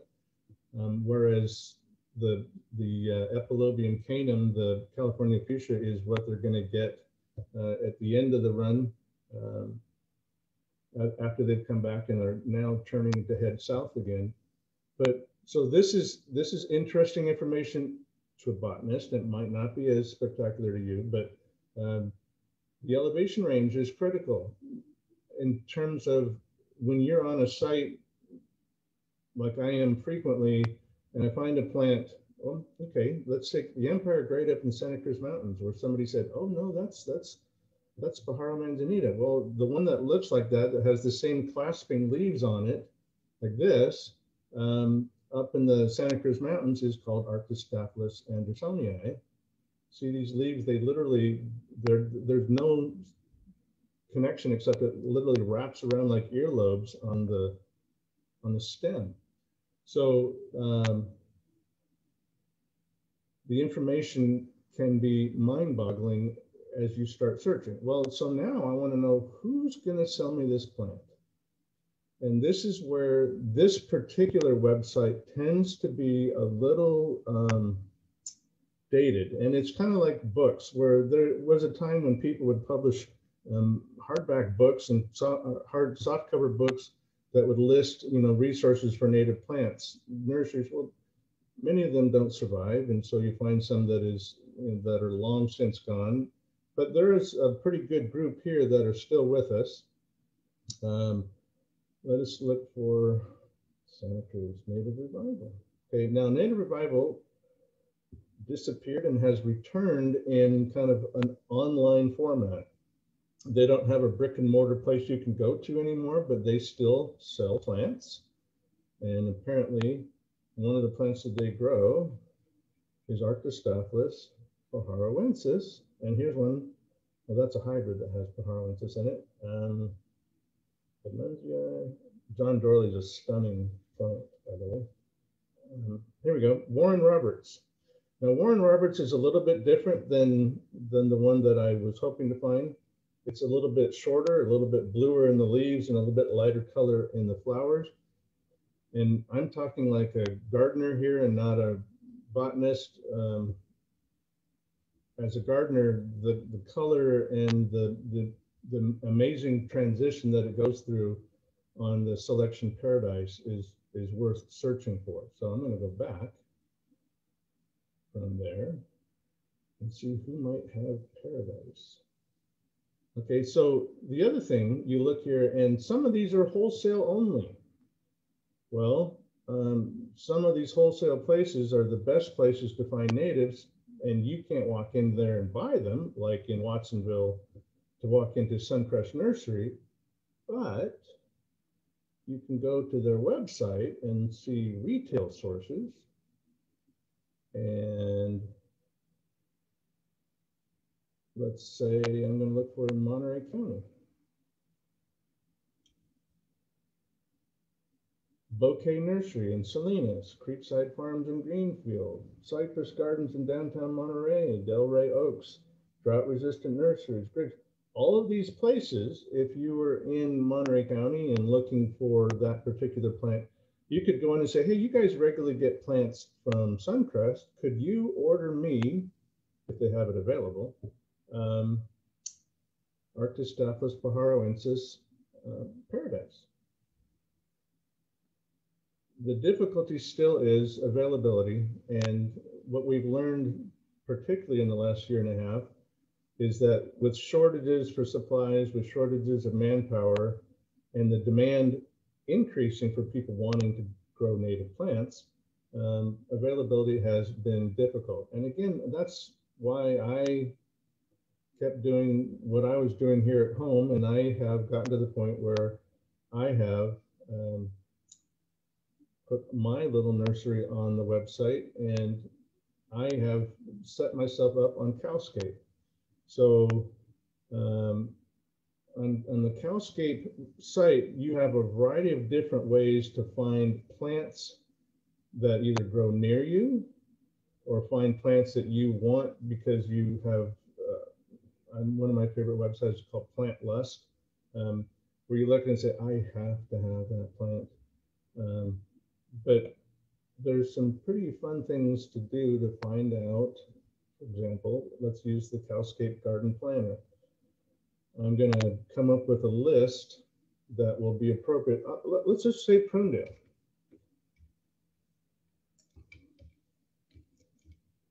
And I'm going to say that I want um, kind of a natural look. You, you can choose any of these others. HOA friendly, that means no natives actually, but that's another story. Um, no, I know that some homeowners associations are getting more enlightened, but so I'm going to just say partial sun. And I'm going to say I want it to be good pollinator habitat and I want it to be good for bird watching Water conservation is kind of is a natural anyhow. Deer resistant, I love the deer, I don't mind. So now it's going to bring up a list of plants that would be perfectly suitable and likely grow in Prunedale. Well, there they are. Hooker's manzanita, which is one of the companions to Pajaro manzanita. Coyote bush. Now, I love the fact that two other, other speakers mentioned this. This is a plant that gets zero respect. Um, I've lived on ranches for long periods of time in my years here in California, and, and cattlemen are not big fans of coyote bush. In fact, they would like to see it wiped out because where coyote bush pioneers and fills in area and kind of starts shifting back to shrublands and sage scrub and, and even some uh, um.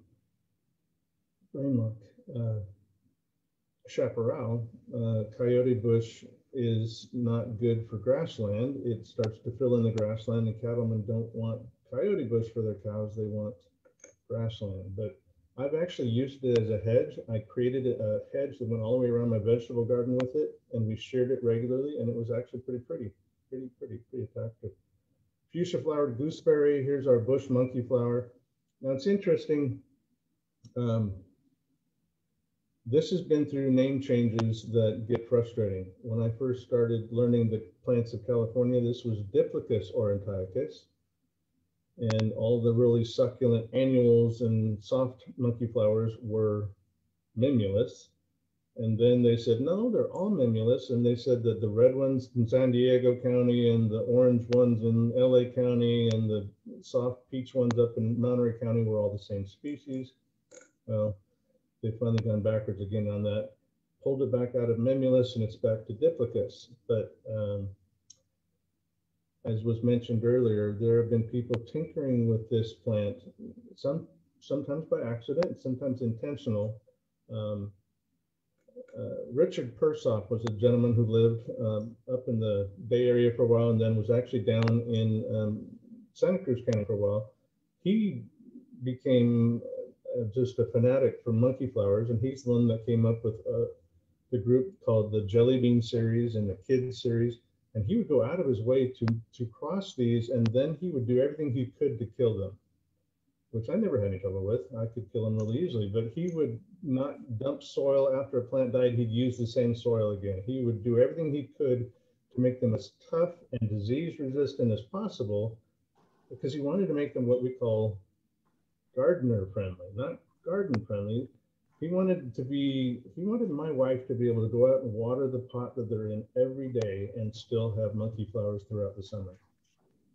And my, my wife likes to water things and I always have to push her away from my nursery. But um, it's turned out to be um, a spectacular group of garden friendly plants but also um, still amazingly tough. And um, our native species and selections are, are really worth the effort, um, particularly as was mentioned, if you're in, a, in an interface with a wild space, you don't want to start putting those jelly beans out there where they're going to start crossing. And again, as a horticulturist, I think, ooh, what exciting possibilities, but that's that's not, not a good thing. Sandmat manzanita is another one that's an excellent sort um, ground cover that's found only in Monterey County nowhere else on the planet. It's primarily on the former Fort Ord and around the, the airport and things like that.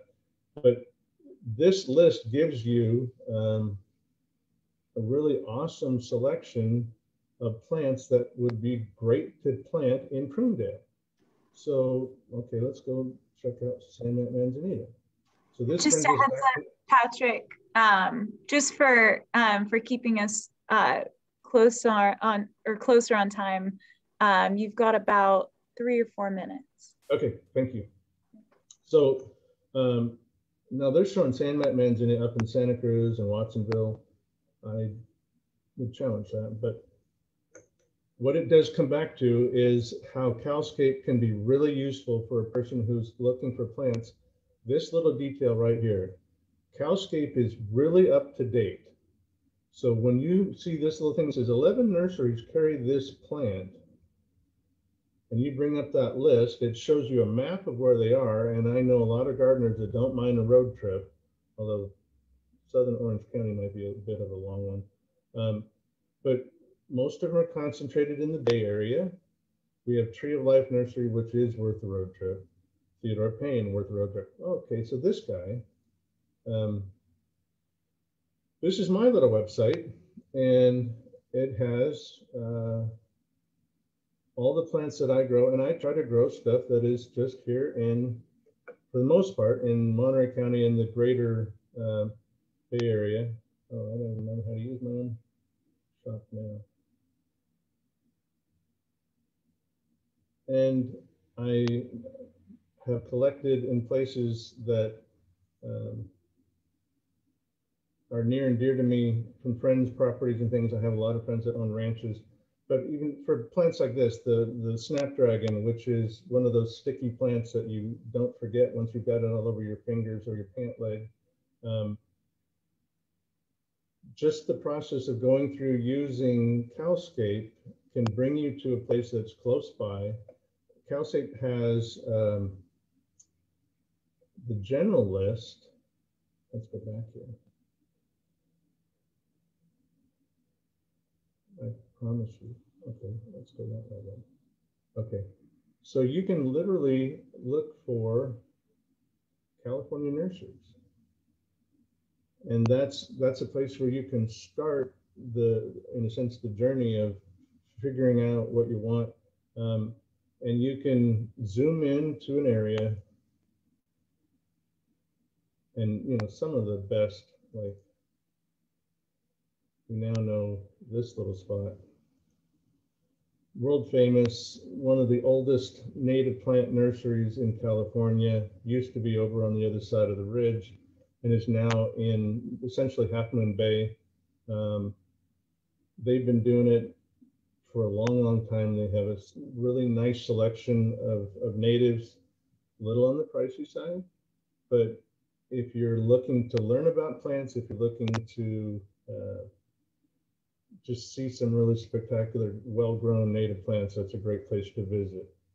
And again, the bottom line is with the time that you've had to spend at home, there's ways to start planning your journeys out again. And that includes the hikes, that includes going to other people's gardens. But this is a great way between Calscape and Calflora to find places where you can find the plants um, that will be the photographs that you take and show to somebody else next fall. And with that, I will pass the microphone back. Right. Thank you, Patrick. And definitely use all of these resources. The links will be in the resource page that we share with you at the end of tonight, but take advantage of them. There are indeed many, many, many very fun rabbit holes to go down there. Um, all right, so I believe we have Carol back on our call here. Um, and I will go ahead and share my screen so that you all can um, see her presentation. So again, Carol's um, a UC Master Gardener, a major fan of pruning, and um, we'll be sharing today on um, plant communities and highlighting and understanding um, the plant communities in the Monterey Bay area. Okay, um, all right, so we're gonna do this through your screen? Yeah, I'll go ahead and do that, okay. and that way we don't risk any funkiness. Sounds good, okay. Um, hang on just a second. Gracious. All right, I'm back. All right, um, next slide, please. I'm gonna be saying that to you a lot, so bear with me. All right, um, just keep going. I'll, well, if it's okay with you, I, we can just uh, start where I left off. You got it. Um, I don't. I don't know that we saw these slides though. Oh, we uh, did. But okay, yeah, just keep clicking because I have this animated, and I think I'm hoping it will work on. Yeah, there we go. So, um, and again, mountains to uh, interior valleys. Awesome. Okay, so start again. Plant communities help us. Uh, click. Yeah, great. Make sense of. Yeah. Alrighty. Um, so make sense of the different physical arrangements of plants found in the wild, recognize the geological and climatic conditions where these arrangements thrive. And together these can give us a head start in um, successfully matching local native plants to these features and conditions in our gardens. Okay, next please. Okay, next, uh, making sense of vegetation. Okay, next please. All right, Vegetation can form certain patterns based on how individual plant species adapt to the conditions of their environment and also to one another and to uh, soil microorganisms, insects, and wildlife that live or visit among them. Vegetation patterns can be described using different scales. So from larger regions like swaths of California to much smaller local areas like your side yard, where the region or area is homogeneous in its features. Uh, so where the climate, the soil, the exposure, sun, shade, and so forth is comparable. Um, and so you can have broad vegetation categories like tree, shrub, or herb dominated landscapes. So, uh, you know, forests and woodlands would be examples of tree dominated um, areas. Um, uh, coastal scrub, chaparral would be an uh, example of a shrub dominated area. Grasslands, um, the foredunes, uh, where you get the abronia species and so forth, those would be considered herb dominated areas because the tallest canopy, all right, um, in a forest is a tree, in uh, shrubland is going to be the scrub shrubs, and in an herb dominated, you know, it's going to be some of those plants that are only growing maybe a foot above the ground. Um, and then you have finer vegetation types like plant communities, and then you have superfine vegetation types like plant community alliances and associations. Um, and then you can also um, just talk about vegetation patterns in terms of uh, geology and climate patterns, again, across a broad area of California or microclimates in our gardens. Okay, next click, please. All right, so patterns can be described using different scales. They can also be described using a, a combination of features um, that consistently characterize a, a, particular geology and climate, a particular topography. Are you in North Slope, uh, South Slope? Are you in the canyon? Are you on the ridgetop? Or, or, or back to vegetation, groups of separate plant species that aggregate together. Um, Okay, so next slide, please. All right, so ecoregion maps. This, uh, these are done by the EPA.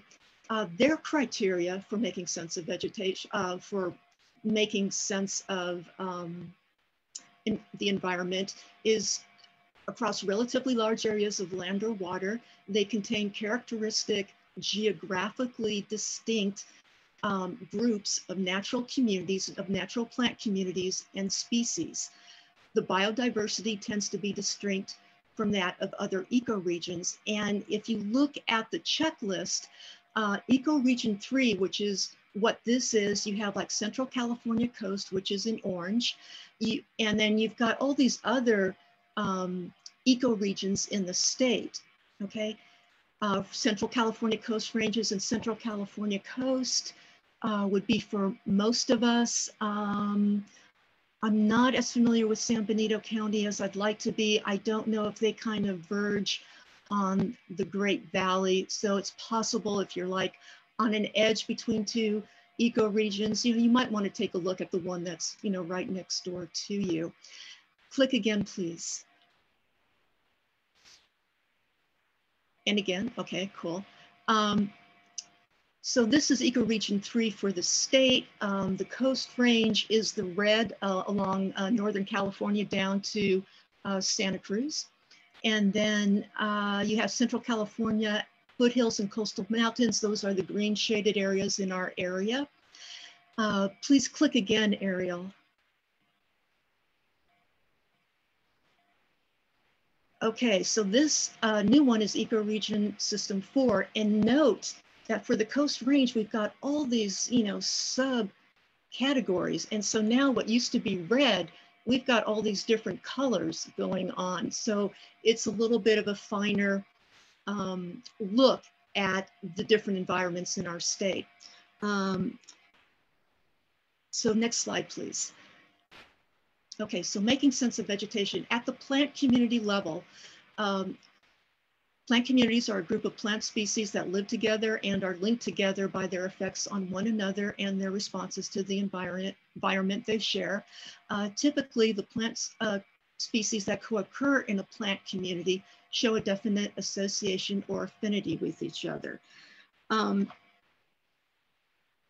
just uh, plant community concept, it's what we were all taught in our science classes uh, plant community, the term and the concept attempts to describe and explain how and why different plant species consistently uh, come together at particular locations and also tries to account for how these groups change over time. And just like there's a classification system for plant, animal, and other species, there is a classification system for vegetation. And to be honest, I've been grappling with this uh, since uh, last fall, and I'm you know, still have a lot to learn and a lot to straighten out. But um, plant community um, in the science community, has caused a lot of confusion and healthy debate, but its underlying goal of providing an organized way to understand our surroundings is still really helpful. Um, when you're looking at a landscape, first break it down into broad categories. So when you're on a hike, um, are you in a tree dominated area or a shrub or herb dominated landscape? And then you can look at the species and which species um, are uh, seem to be the lead species at the tree level, at the shrub level, at the uh, herbaceous level. And dominant just means which plants form um, the particular level of the canopy, the overstory. If there's an understory, uh, um, just take a look at which plants are forming the majority of the main layers of the understory. Um, okay, so uh, click again, please, Ariel. Thank you. Uh, for many reasons, correlating what we see around us to a description of a plant community uh, can get really fuzzy. Um, so if you look at this photo of this oak woodland, in the left background, there's a eucalyptus grove forest. I was stunned to find that eucalyptus, a eucalyptus forest is an actual uh, plant community. Uh, and then in the foreground, this was taken from um, Cabrillo's horticulture campus. And in the foreground, I think if I recall right, it's like a mixed evergreen on the campus itself. So you've got three different things going on. And uh, this is all trees but you can see the oak woodland is very open. The eucalyptus forest is very dense. There's not a lot of opening uh, between the trees. And then the mixed evergreen forest, um, I really honestly don't have much to say about that at the moment. We're gonna get right into that.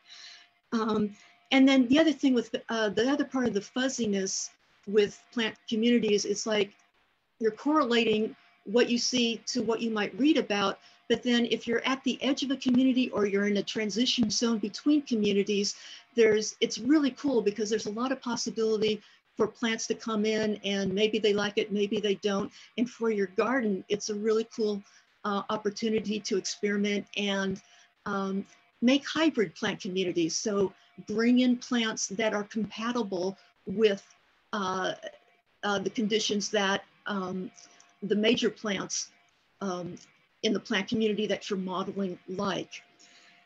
Um, and then the other issue is that um, as you look at books, there are different names and as research, uh, as we add, as scientists add to the research in their understanding, um, some of the plant community names may change. They may um, have their um, descriptions updated in some ways. So there's something that you can find on um, various uh, websites that are called crosswalks. And all this is, it just says what the um, current plant name is for it and then what it used to be known by. So you can always backtrack. There's ways to do that. All right, next slide, please. All right, so we have about 67 plant communities in our area and it kind of varies depending on how you count. I'm in, um, looked at vegetation maps for the counties and um, some books, um, uh, Mary Ann Matthews book of the plants of Monterey County. There's a um, Santa Cruz uh, Native Plant Society did one for Santa Cruz County. And so I pulled the plant communities from those and put them in an Excel spreadsheet. So this is what I came up with. Um, again, it's not written in stone. This is just my approximation of what we've got.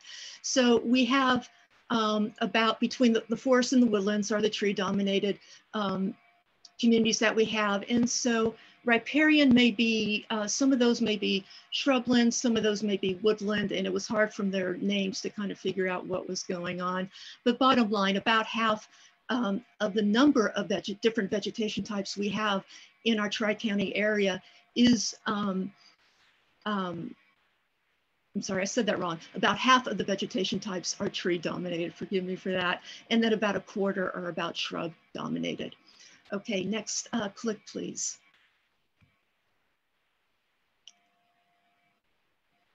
Okay, so um, most of us live like near six or seven communities. So um, most of us live near three um, forest communities, redwood, closed cone, mixed evergreen, um, two woodlands, central oak and riparian, and a couple shrubland uh, communities or shrub dominated communities, coastal sage scrub, maritime chaparral. In the middle, um, it just kind of shows some of the definitions. So in a forest, the tree covers over 60% uh, of the canopy over the ground and the canopies overlap. For woodland, it's 10 to 10, uh, 10 to 60% of the canopy covers the ground, and there's a lot of open space between the stands of trees, as we saw in the oak woodland, and the canopies tend not to overlap. The trees space themselves um, a little bit uh, apart from one another. Okay, next uh, slide, please, or next click, please. All right, among these six community, uh, communities combined, as uh, Karen and Jackie and Pat have talked about, there's a lot of variety, so there's a lot of choices for your garden. Next click, please. Within any single community or in transitional areas between communities, a lot of nuances exist. Transition, transitions may be gradual or abrupt, but again, I just want to encourage people, go native. There's a lot of cool choices that um, you'll enjoy aesthetically and uh, functionally for your garden. Next slide, please.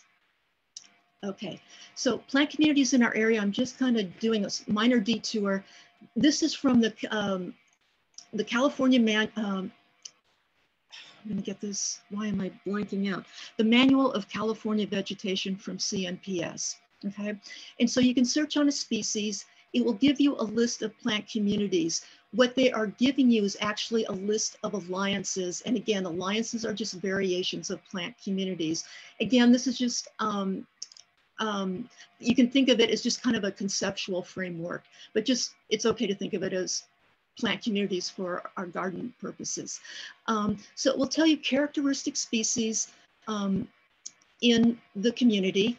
It will not list every species in the community, just the ones that are dominant. So there may be other things in the community that are consistently there, but they, they're not considered to be uh, characteristic of the community. It will show you the habitats um, and then this other Habitat Alliance and community groupings, this is where the synonyms come in that you'll find in uh, older science books or in other resources, or that are the basis for other um, um, databases such as uh, the Wildlife Habitat Relationships, relationships System uh, database, which um, tells you about what uh, tells you about plant communities and it's basically from the wildlife perspective. And I'll have a sample of that um, later on. Next slide, please.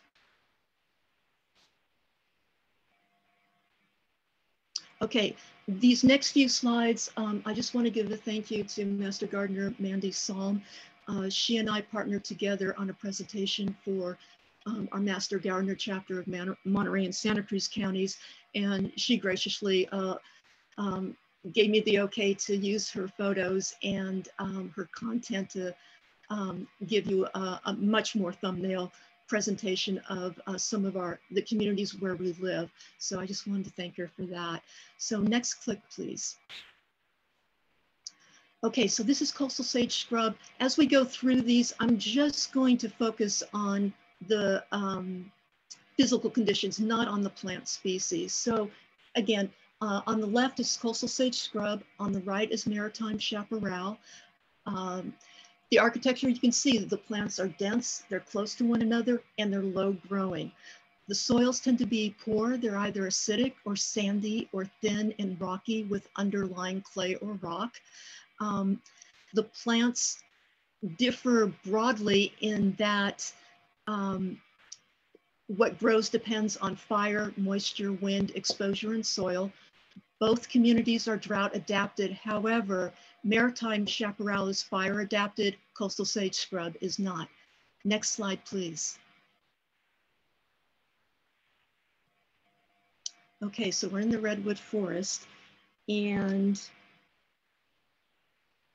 uh, with the forest communities, they have a lot of their physical conditions are they have in common. So after I get through the redwood forest, I'll just highlight the differences of the our other two forests but basically they're all dense, they're all really vertical. Um, and overall, they require cool, moist days from the marine layer influence with some sunny days. And all three of these communities have a diversity of overstory and understory plant uh, species that can support a variety of wildlife. So for red, the redwood forest, um, it requires more precipitation than the other two forest types that we'll look at in a second um, part shade, filtered light. Uh, next click, please. And unique feature, they're uh, red, that's okay. Um, so we'll go to the closed cone pine forest. Okay, back again. Uh, redwood trees are long-lived due to the tannic acids in their bark and heartwood that um, uh, protect them from pathogens and insects. Okay, next slide, please. All right, so now we're in the closed cone pine forest. Click again, please. So again, uh, again, all the same. Uh, the presence of coast live oaks is what distinguishes the closed cone pine forest from the redwood and the mixed evergreen. Uh, the presence of live oaks is variable and it depends on soil and climate conditions. Uh, the plants are fire dependent and um, they rely on infrequent but predictable fires, at least in the uh, in past history. Okay, uh, next click, please. Monterey pines are the fastest growing species of pine trees and their cones um, rely on fire events to open and regenerate, although they will open um, over time in, on warm days. And um, you'll see that uh, various spots around town. All right, mixed evergreen forest. Um, okay, um, again, same deal as the other two forests, but um, one, their architecture, they have leafy, leafy trees, fewer conifers than the other two forests, so it has a softer, more horizontal look, and the understory is more dense than you would find in a redwood and closed cone pine, for, uh, pine forest. um, the main thing though that I want to point out is that they are found between redwood forest and oak woodlands. So they're in this kind of intermediate zone where they don't get as much precipitation as the other two forests, but they're not quite as dry as the oak woodlands. And then when you look and see the plants, the plants are favoring north facing slopes or canyon bottoms. So when you think about it, north facing slopes don't get hit with the sun that south and west facing exposures do. So they can control, the plants can control their moisture a little bit, manage their moisture levels a little bit better. And then if you're at a canyon bottom, water's flowing downhill. So again, it's another way for these species to survive. All right, next um, click. And we'll move on because I think I already said that. Okay, central oak woodland. Again, you can see the patchiness um, in the hills. You can also see um, how their pattern that they angle down, you know, certain slopes consistently across the hills. Um, so open patchy tree coverage is sparser than the forest communities. Uh, hilly areas in the interior fire adapted. Next slide, please. Oh, um, uh, okay. Um, keep going. I'll just add the central oak uh, woodland is a huge important breeding area for wildlife. Okay, so now we're in the riparian woodland. The riparian areas can be so many different things. They can be vertical and open, dense and complex. Uh, tree coverage is sparser than in forest communities. The regular presence of water is the main um, defining feature for them. And I just want to clarify, it's um, moving water, not standing water like um, environments where there are lakes or vernal pools or ponds. So it's moving water, rivers, streams, and so forth. And the soils are very nutrient rich. And um, next click, please. It has the greatest diversity and productivity of flora and fauna of our six plant communities. Okay. Okay, so what it means to mimic a plant community. It's native plant species, plus vegetation architecture, the layering, the vertical layering of plants. The goal is not to re replicate a local plant community in your garden, but if you want to, by all means. Um, the goal is to use native plants that are naturally found together and to arrange them in ways that create functional self-sustaining habitat. Next click. Okay, stop. Interactions between plants, wildlife, and the physical environment initiate and sustain numerous natural cycles that benefit wildland, our gardens, and us. Next clip, please.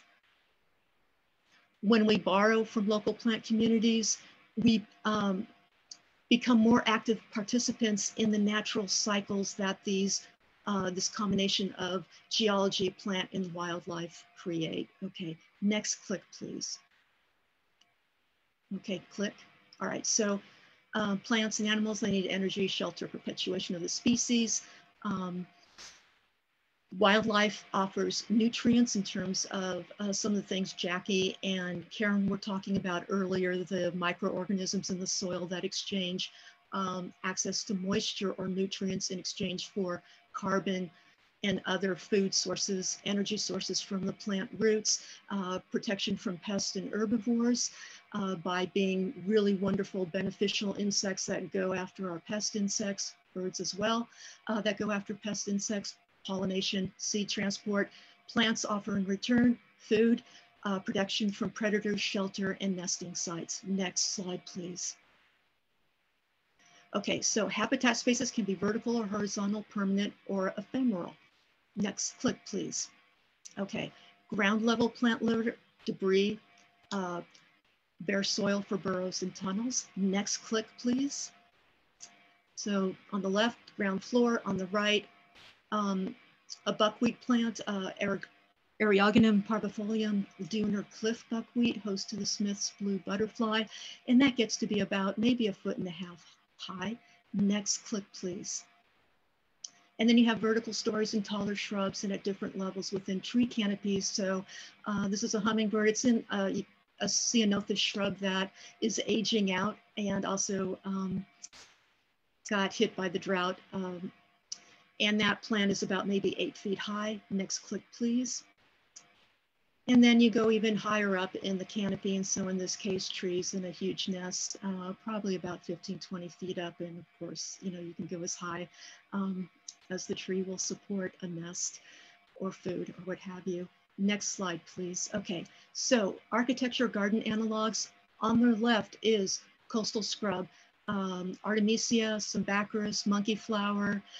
On the right is a garden, a residential garden, and they did a similar thing. They're doing coastal sage scrub with uh, sage. I'm not sure what species that is, poppies. And again, the density, uh, the same height. Next slide, please.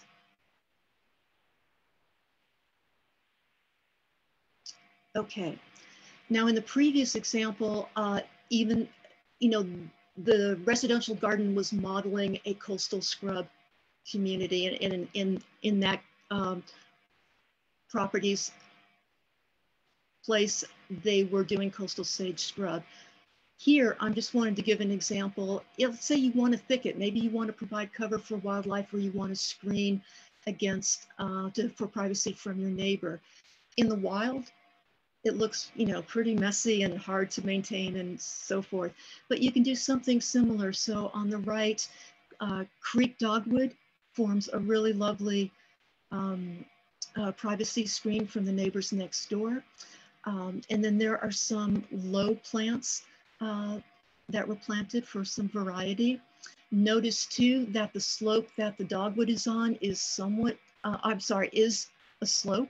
And then to the, in the uh, right side, there's a dry stream bed that's kind of U-shaped. So when it rains, the water comes down into the dry stream bed, which then carries it away from um, the house. Next slide, please.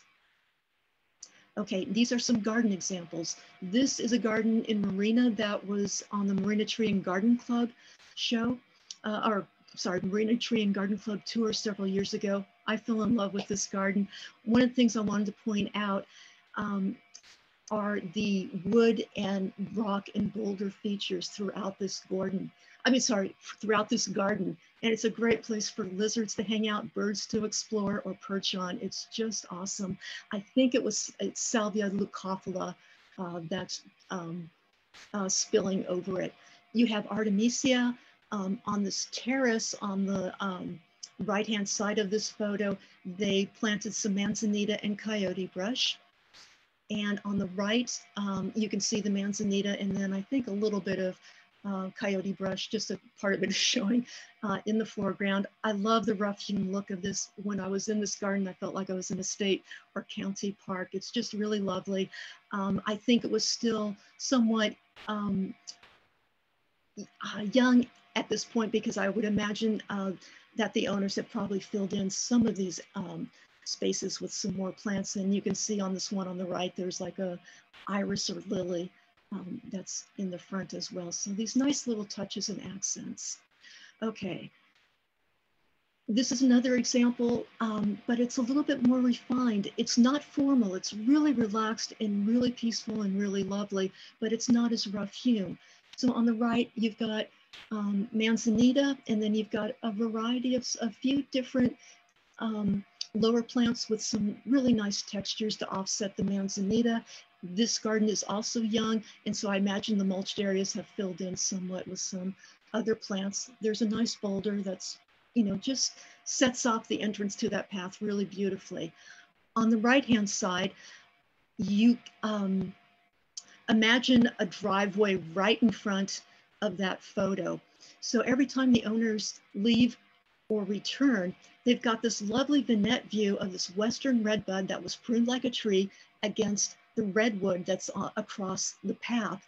And so when the redbud is in its growing season, instead of the pink blooms, you'll see the round, lighter green leaves against the more feathery and darker foliage of the redwood. So it's really cool. So if you want to do something more structured, you can, it will work. Um, next slide, please. Okay, so depending on your particular site conditions, you may find yourself drawing from just one plant community or two or three. Select the one that best matches each area of your garden. Select the dominant species you like. Usually these will tend to be your garden's foundation species. And then select supplemental species that will be compatible. Uh, you wanna make sure that plants are hydrozone, that they need the same water requirement, the same sun. Uh, so just make sure that you don't plant a full sun plant in a shade bed, make sure that their water needs are comparable and so forth. Remember, please, to combine plants, I mean, uh, non-living features, boulders, logs into different aesthetic groupings, use vertical layers, um, make sure you have enough space available for each plant at its mature size. So don't be bothered by having open spaces if you're starting, if you have a bed that you want to redo and you're starting from scratch, it will fill in, give it time. The problem with uh, that often happens is that people don't like those empty spaces.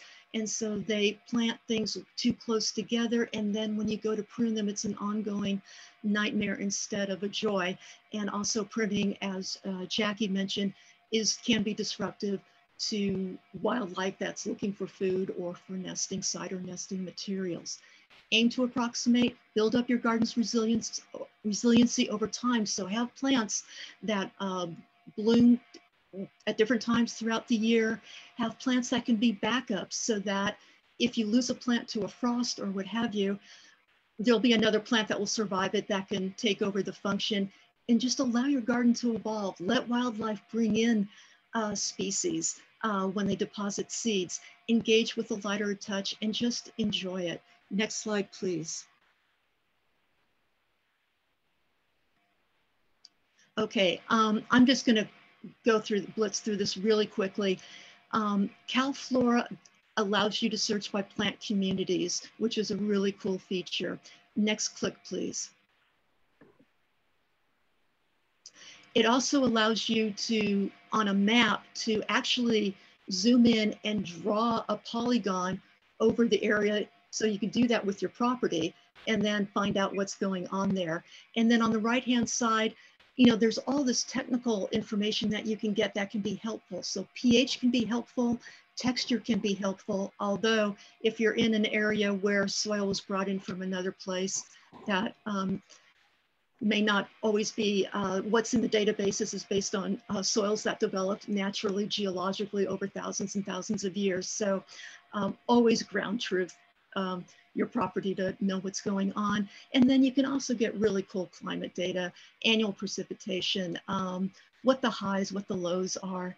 Uh, next, um, yeah, go ahead, next please. Uh, and then the, Calif the CNPS Manual of California Vegetation, next slide please. Okay, so you can search, um, the only difference between advanced search and map search is that map search has the same criteria as advanced search, but it provides that ecoregion map so you can select, okay, I just want to look at communities in the central coast or in the coast ranges, okay?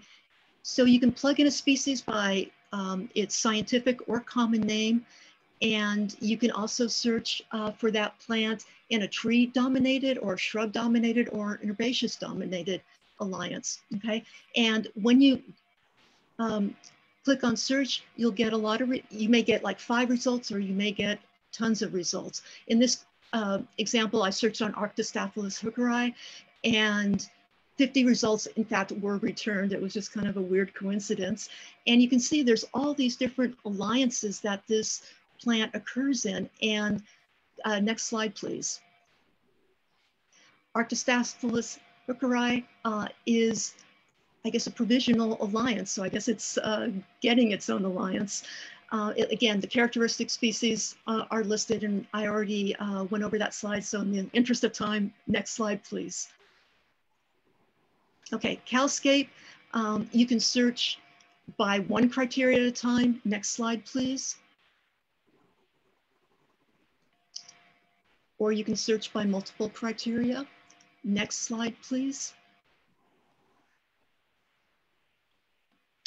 Uh, and then the results are really, really cool. So they tell you about the plants, they give you all the basic gardening information. Um, you can use CalScape to fine tune, you know, to see really what's going on at your site. But, um, and then CalScape, um, you know, can give you a specific general, but you can go super fine if you want on CalFlora. Um, and it talks about the wildlife. Next click, please.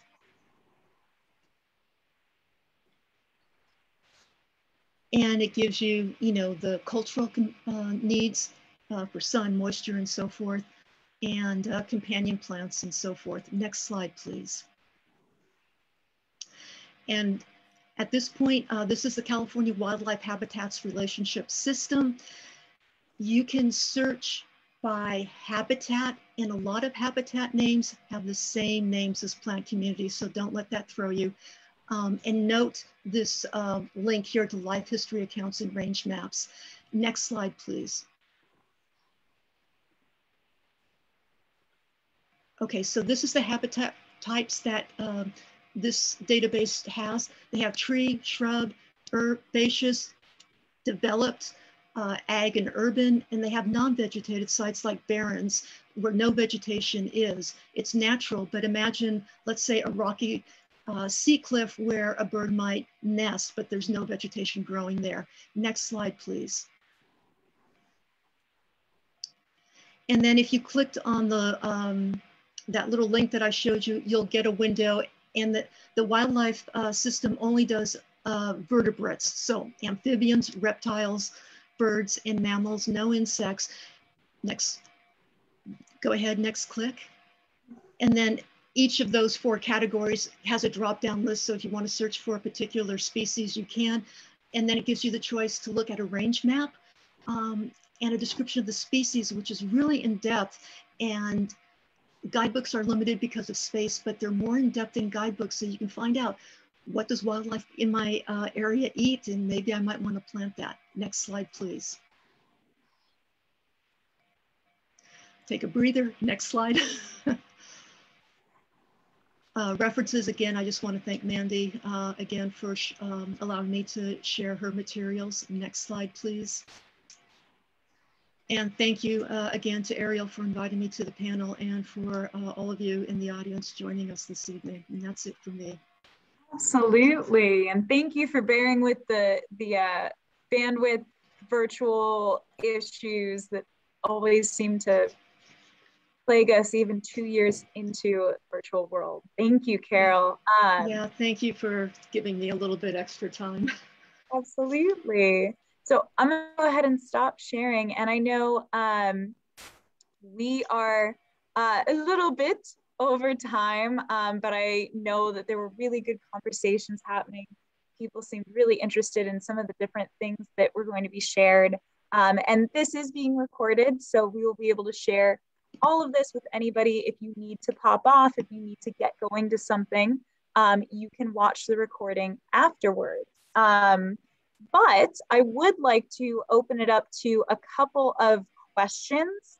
Um, our speakers have been uh, really wonderful in offering to help me over the next week as well, answer any questions that we weren't able to get to. So um, if you had a question and it doesn't come up during this Q&A and you really want it answered, um, know that in my follow-up email um, about a week from now with the recording and the additional resources, um, you will hopefully have your question answered then. Um, but with that, I want to bring up a couple of thoughts that came up um, for our panel speakers.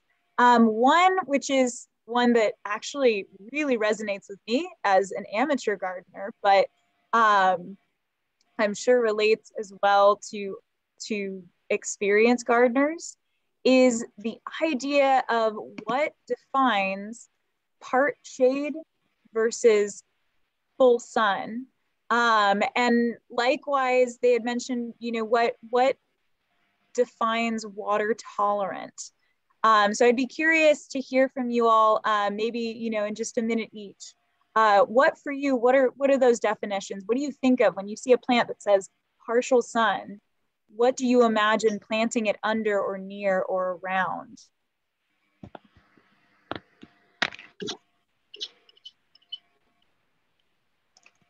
Are you taking that? Taking that? I'll let you go ahead. I'll let you Pat. go ahead, Pat. What just happened? What just happened?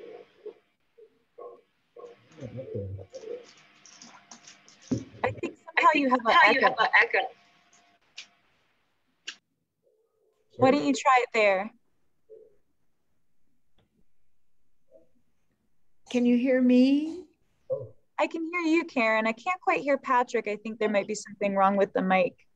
For me, part sun would be like dappled shade under a tree or only morning sun and not midday or afternoon sun. But it's kind of a flexible term, I think. I think it also depends upon where you are. Um, oh, yes. If you're in Carmel, um, part sun is like dark shade out here where I am in East Carmel Valley. Um, but I think of it as, as a matter of what you just said, Karen, that it's um, morning sun that would be, you know, on the east side of your house or something that is going to provide some good growing sun, but isn't going to create the heat that would come in the, in the west facing region of the property, wherever you're planting later in the afternoon. Full sun, I think of as having at least six hours of direct sun during the day. And that would be, again, switching over to the south side or the west side of a, a planting area. Yeah. I don't think I have anything to add to, to that. I think that's right. Part sun, part shade. Part shade seems different to me. It's more shade loving plants that don't like deep shade. Um, mm-hmm. Yeah. And I'm sure there's moisture content that comes with that as well. Yeah, that's um, true. Jackie, well, I'd like to direct a question towards you simply because you were the one talking about firescaping. We had a lot of questions come in asking um, primarily what are the more flammable plants to, again, maybe steer away from or keep much further away from your house. So if you have a couple of key flammables um, that are definitely the the ones to maybe not put right next to the house because um, you had that list of oh. your most virtuous plants or the plants that are least less flammable. What are the ones that are more flammable that somebody might want to steer away from? Well how, uh, certainly anything with needles rather than leaves. Um, pine trees they're not good you know but you wouldn't have hopefully wouldn't have them near your house anyway um, mm. Chamise, anything with a, a, lot of odor and kind of oily, um, with sap that's very smelly or has a strong odor. Often plants that are fragrant, which is unfortunate. Not all plants that are fragrant, but um, uh, they have terpenes and oils in them. Um, what was the other one? Uh, there was one I was going to mention acacia, palm trees are very flammable. Um, yeah, I mean, again, it comes back down to plant characteristics and um, looking for a well irrigated plant that doesn't have volatile oil, oils in it and um, doesn't have fine texture. So rather than looking at specific plants. Chamise mm-hmm. is definitely not good. Salvias are not good. They're very fragrant. They're kind of oily. They get very dry and brittle. Um, you can rejuvenate them, and I love them, and I risk it with some salvias. Uh, even even though I have local native salvias, they don't seem to bother the black black sage that's native here, so Take a risk. but but they're definitely anything that gets dried. Uh, you know, you might it might look green on top, but you look underneath, and um, it's it's all dry and twiggy. You know, that's not a good that's not a good option. Thank you. Um, another question that we had come in, and I'm just trying to find it. This question came in actually for Carol. Um, what is your take on using cultivars versus straight species if you're not gardening at the wildland urban interface? So Jackie, you had mentioned how you at that at that interface, you don't want to use the cultivars as frequently because they can disrupt the local gene pool. Um, but if you are working outside of that wildland urban interface, maybe you're in more of something like a garden in an urban area like Karen's um, or like mine, and especially, I think, in the context of if you're trying to maybe create a plant community, what's your take on using the cultivars? Are they maybe useful? Do they work with creating a plant community? Or is that going to um, disrupt maybe the alliances that they had already built up? Oh, and I do, I'm gonna have you unmute. I think I had. Sorry about that. Um, can you hear me now? Yeah, okay. Um, I'm not quite sure how to answer that from um, its effects on other plants. I don't know if there's research on that yet. Research into cultivars is really, really fascinating, but um, it's started a few years ago. And so there's um, some interesting studies on the wildlife perspective, like the cultivar, cultivar flowers, they may be a different color that will not attract insects, or maybe they won't have the line on the petals to guide the bees in, right? Um, sometimes the nectar, maybe a cultivar will produce more nectar or less nectar than the parent species. And then you have to think about, well, what's the nutritional content of that nectar and could that throw some things off? So um, I'm sorry to say that my answer to that is I really don't know. And I don't know. Um, I, I, would think in a garden setting, it wouldn't be a big issue. It's not like uh, the plants are going to fight it out or duke it out or anything like that. And I know that's not what's being asked in the question, but I don't think uh, it would be something to particularly worry about, particularly too with Karen's experience with uh, the monkey flowers. So um, that's all I have to say about that. Yeah, and I'd open up that that question about you know the the maybe broaden that question to what is our panel's take on the benefits or the pros and the negatives of working with cultivars and, and growing cultivars?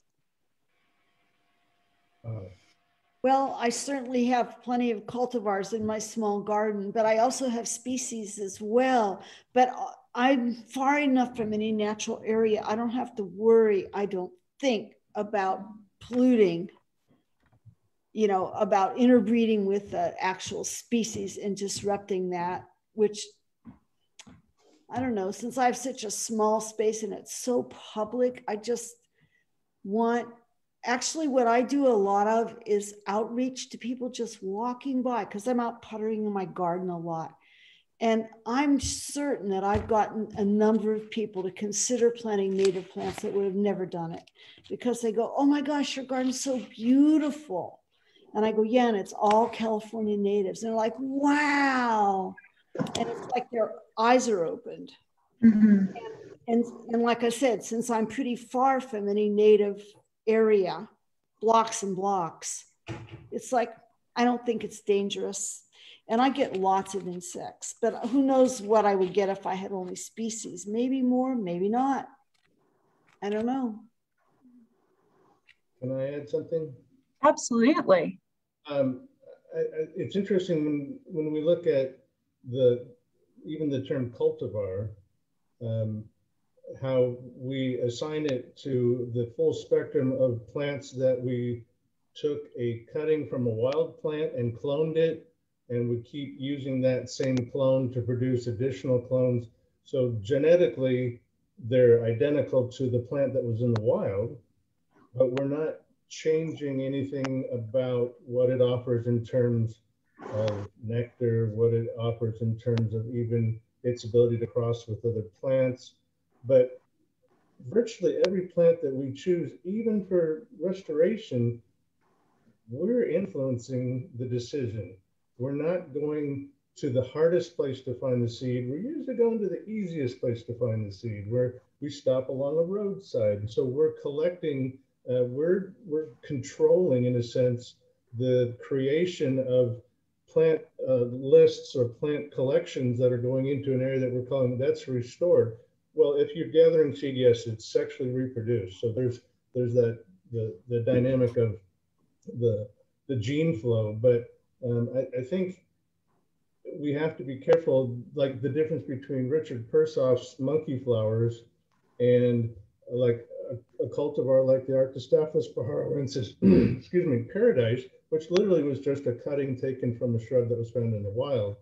Um, if you were to take that that cutting and plant it in Prunedale, in that area where it, it came from, it's still going to have the same ability to create a new genetic flow when it gets pollinated by a bee that's been on some other native Pajaroensis right near there. So I think it's possible.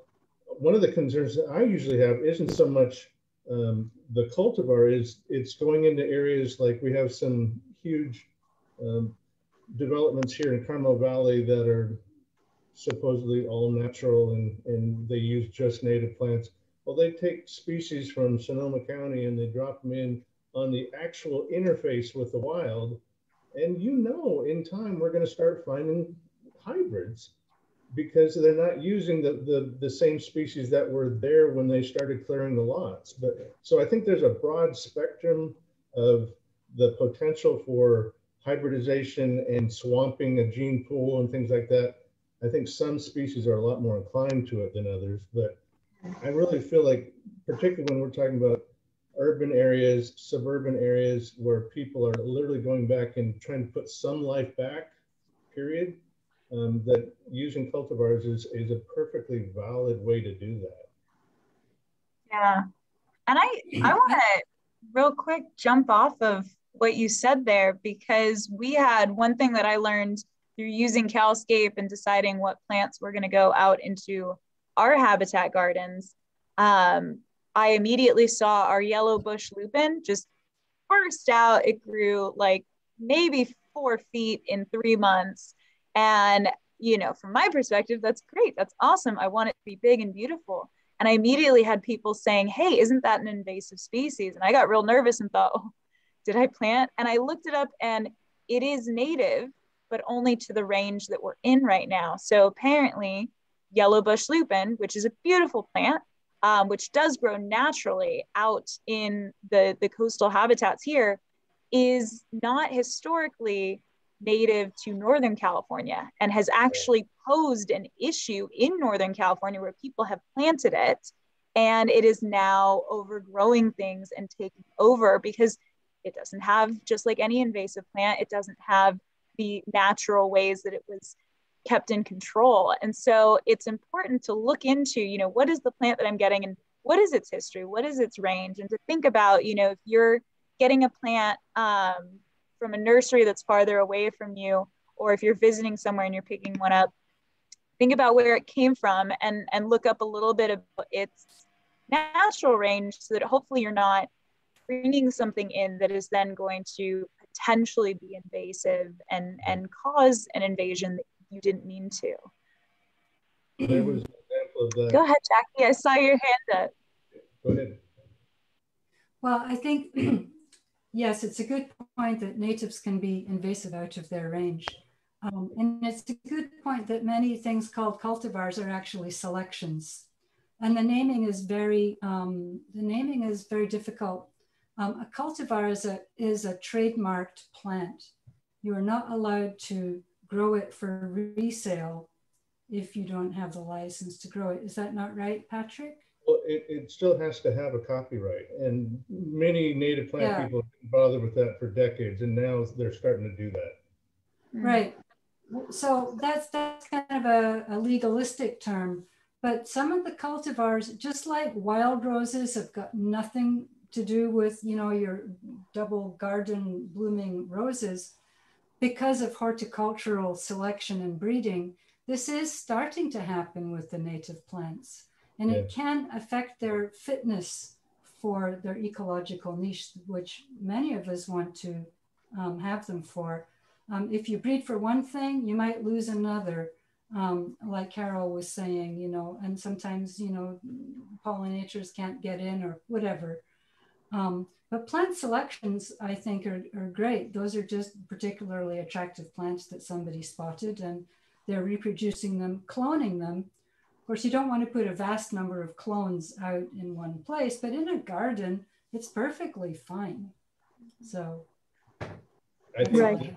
between restoration and and uh, gardening needs to be clarified in many cases because the plants that you yeah. would suggest for restoration really should come from that local area. The plants Absolutely. that you want to garden with, some people do I'm forgetting there's a new term that people are using, like the hyper native, um, that still want to have my native garden. I want it to just be the plants from my neighborhood.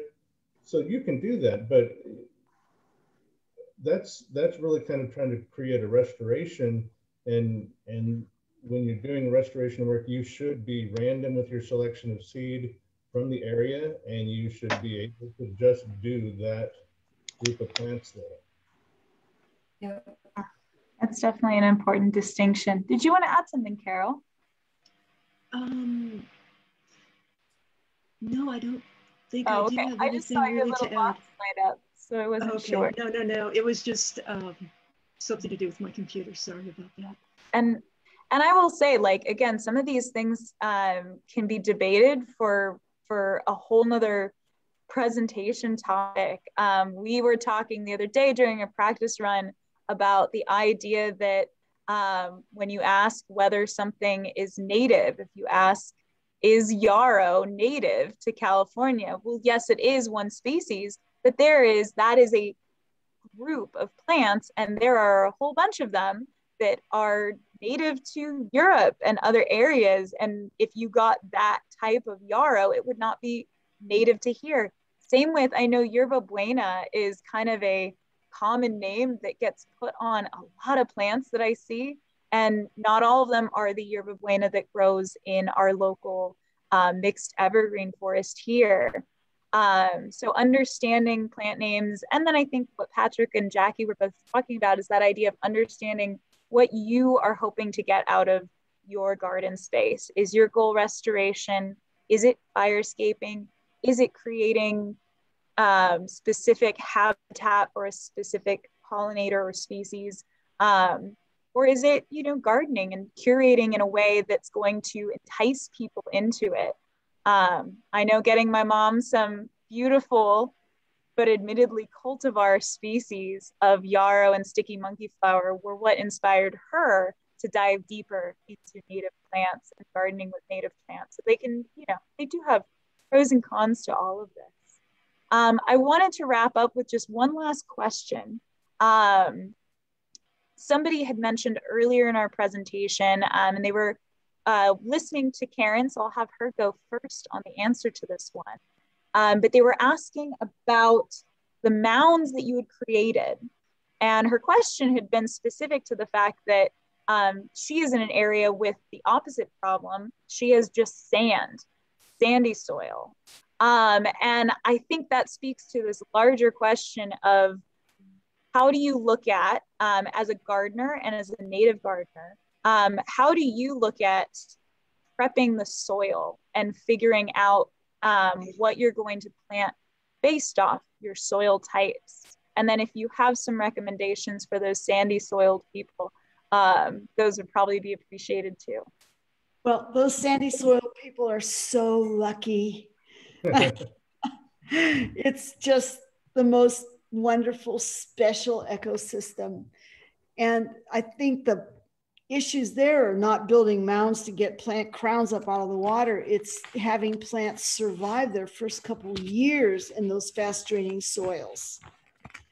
So it's more like that. Um, yeah. Uh, anyway, yeah, you have to look, and, and that would be some kind of uh, a, the, the sandhill environments with the very sandy soils. A person who's lucky enough to live there would I would severely recommend get some expert advice on what would be ecologically the best thing to plant because they're really rare and special ecosystems. It's not like in town with what I'm sure I'm on an ex agricultural soil here, you know, it's really different. Mm-hmm. And so, do others have thoughts about um, that they'd want to share about sandy soils or just better understanding and identifying the soil around you? Well, when I think of sandy soil, I think you're either on an old dune or along a river, and I'm along a river where I have alluvial sand and I, I can't get it to hold water.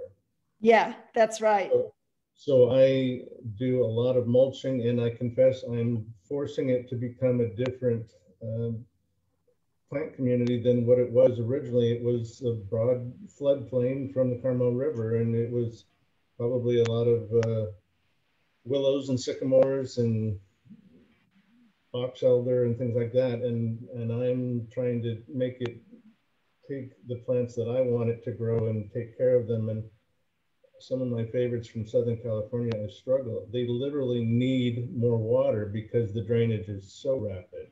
Wow. But, yeah. but you have, when you start looking into particularly what Carol was talking about, when you start choosing plants that have that uh, characteristic, I mean, again, some of the riparian plants, some of the the plants that would be found if you're out closer to the coast in dunes, you have a pretty good selection of plants to work with. And you don't have to be a stubborn cuss like I am and fight it. You can figure out what would grow there. Yeah. Yeah. Um, yeah, I'd like to add something too. Yeah. Um, don't fight your geology. Um, don't fight your climate. Um, I've seen people I've um, at various gardening events and they want to plant, let's say, um, a coastal scrub plant, but they've got a very muddy um, backyard or muddy area in their backyard, but they love this particular plant and they want to see it from their, um, let's say their living room or see it from their deck. And all I can say is, you know, in, the, in a very exaggerated way, you know, if you live in a riparian area, don't plant a coastal scrub plant. If you live in a coastal scrub area, don't uh, plant a riparian plant. It's just not going to work, or you're going to be putting a lot of work into trying to um, make something that you just can't, uh, make something happen that you just can't. So respect your geology, respect your climate. With respect to sand, yeah, I, all I can do is is second what uh, Jackie and um, Pat were saying about just adding organic matter. I mean, that's really all you can do. And the sad thing is, even the organic matter will kind of decompose and drain through. So you're yep. constantly replenishing it. Um, the other thing you could consider uh, would be container gardening or building like a raised bed with soil that is suitable for the plant that you want to do and somehow uh, integrating that into your garden. So that could be another uh, way to, to go about it. But I understand that for most of your garden, when you have sandy soil, it's a huge issue. Absolutely. All right. Well, I think we're going to go ahead and wrap up our night um, since we're getting quite late into the evening. And I know that many of us, myself included, probably ask a lot of questions for a lot of time. Um, I want to first add into the chat here. Um, and again, I will also share this link. We have everybody's email from Zoom. So we will follow up with folks after this event with a recording um, we are also preserving all of the resources that our presenters so kindly shared on a page on our website. So I have just linked that into the chat. Um, and again, it will be in the follow-up email as well. But on that event page, you will now find um, lots of different resources from speakers, as well as a lot of the links that we mentioned in the presentation. So definitely check back to that, use it as a resource. I also want to extend to everybody to come use Reserve and our site as a resource. We have knowledgeable people here um, and are we are happy to talk about some of the ways we've worked with our areas and especially that difference between gardening and curating versus restoration as well as where they blend. And I also invite folks to reach out to California Native Society the local UC Master Gardeners chapter for Santa Cruz and Monterey, um, as well as the UCSC Arboretum, which all of our presenters today are affiliated with in one shape or form. All of those are great resources. They can be your network. They can um, be a great shoulder to cry on if your plants did not make it, which is going to happen. There are going to be casualties. You have to get over that um, speaking as somebody who is still getting over the casualties from that, my year out in the garden. Um, and with that, I would like to extend a huge thank you to our presenters for speaking tonight. This was fantastic. This will be a great resource to share with others. Um, thank you, thank you for the work that you do in your gardens, whether they are urban or wild face. Um, and thank you to everybody else for attending tonight. And I look forward to seeing more and more natives popping up around the Monterey Bay area. Thanks, Ariel. Thank you, Ariel. Thank you, everyone. Thank you, Ariel. Thanks so much. Everybody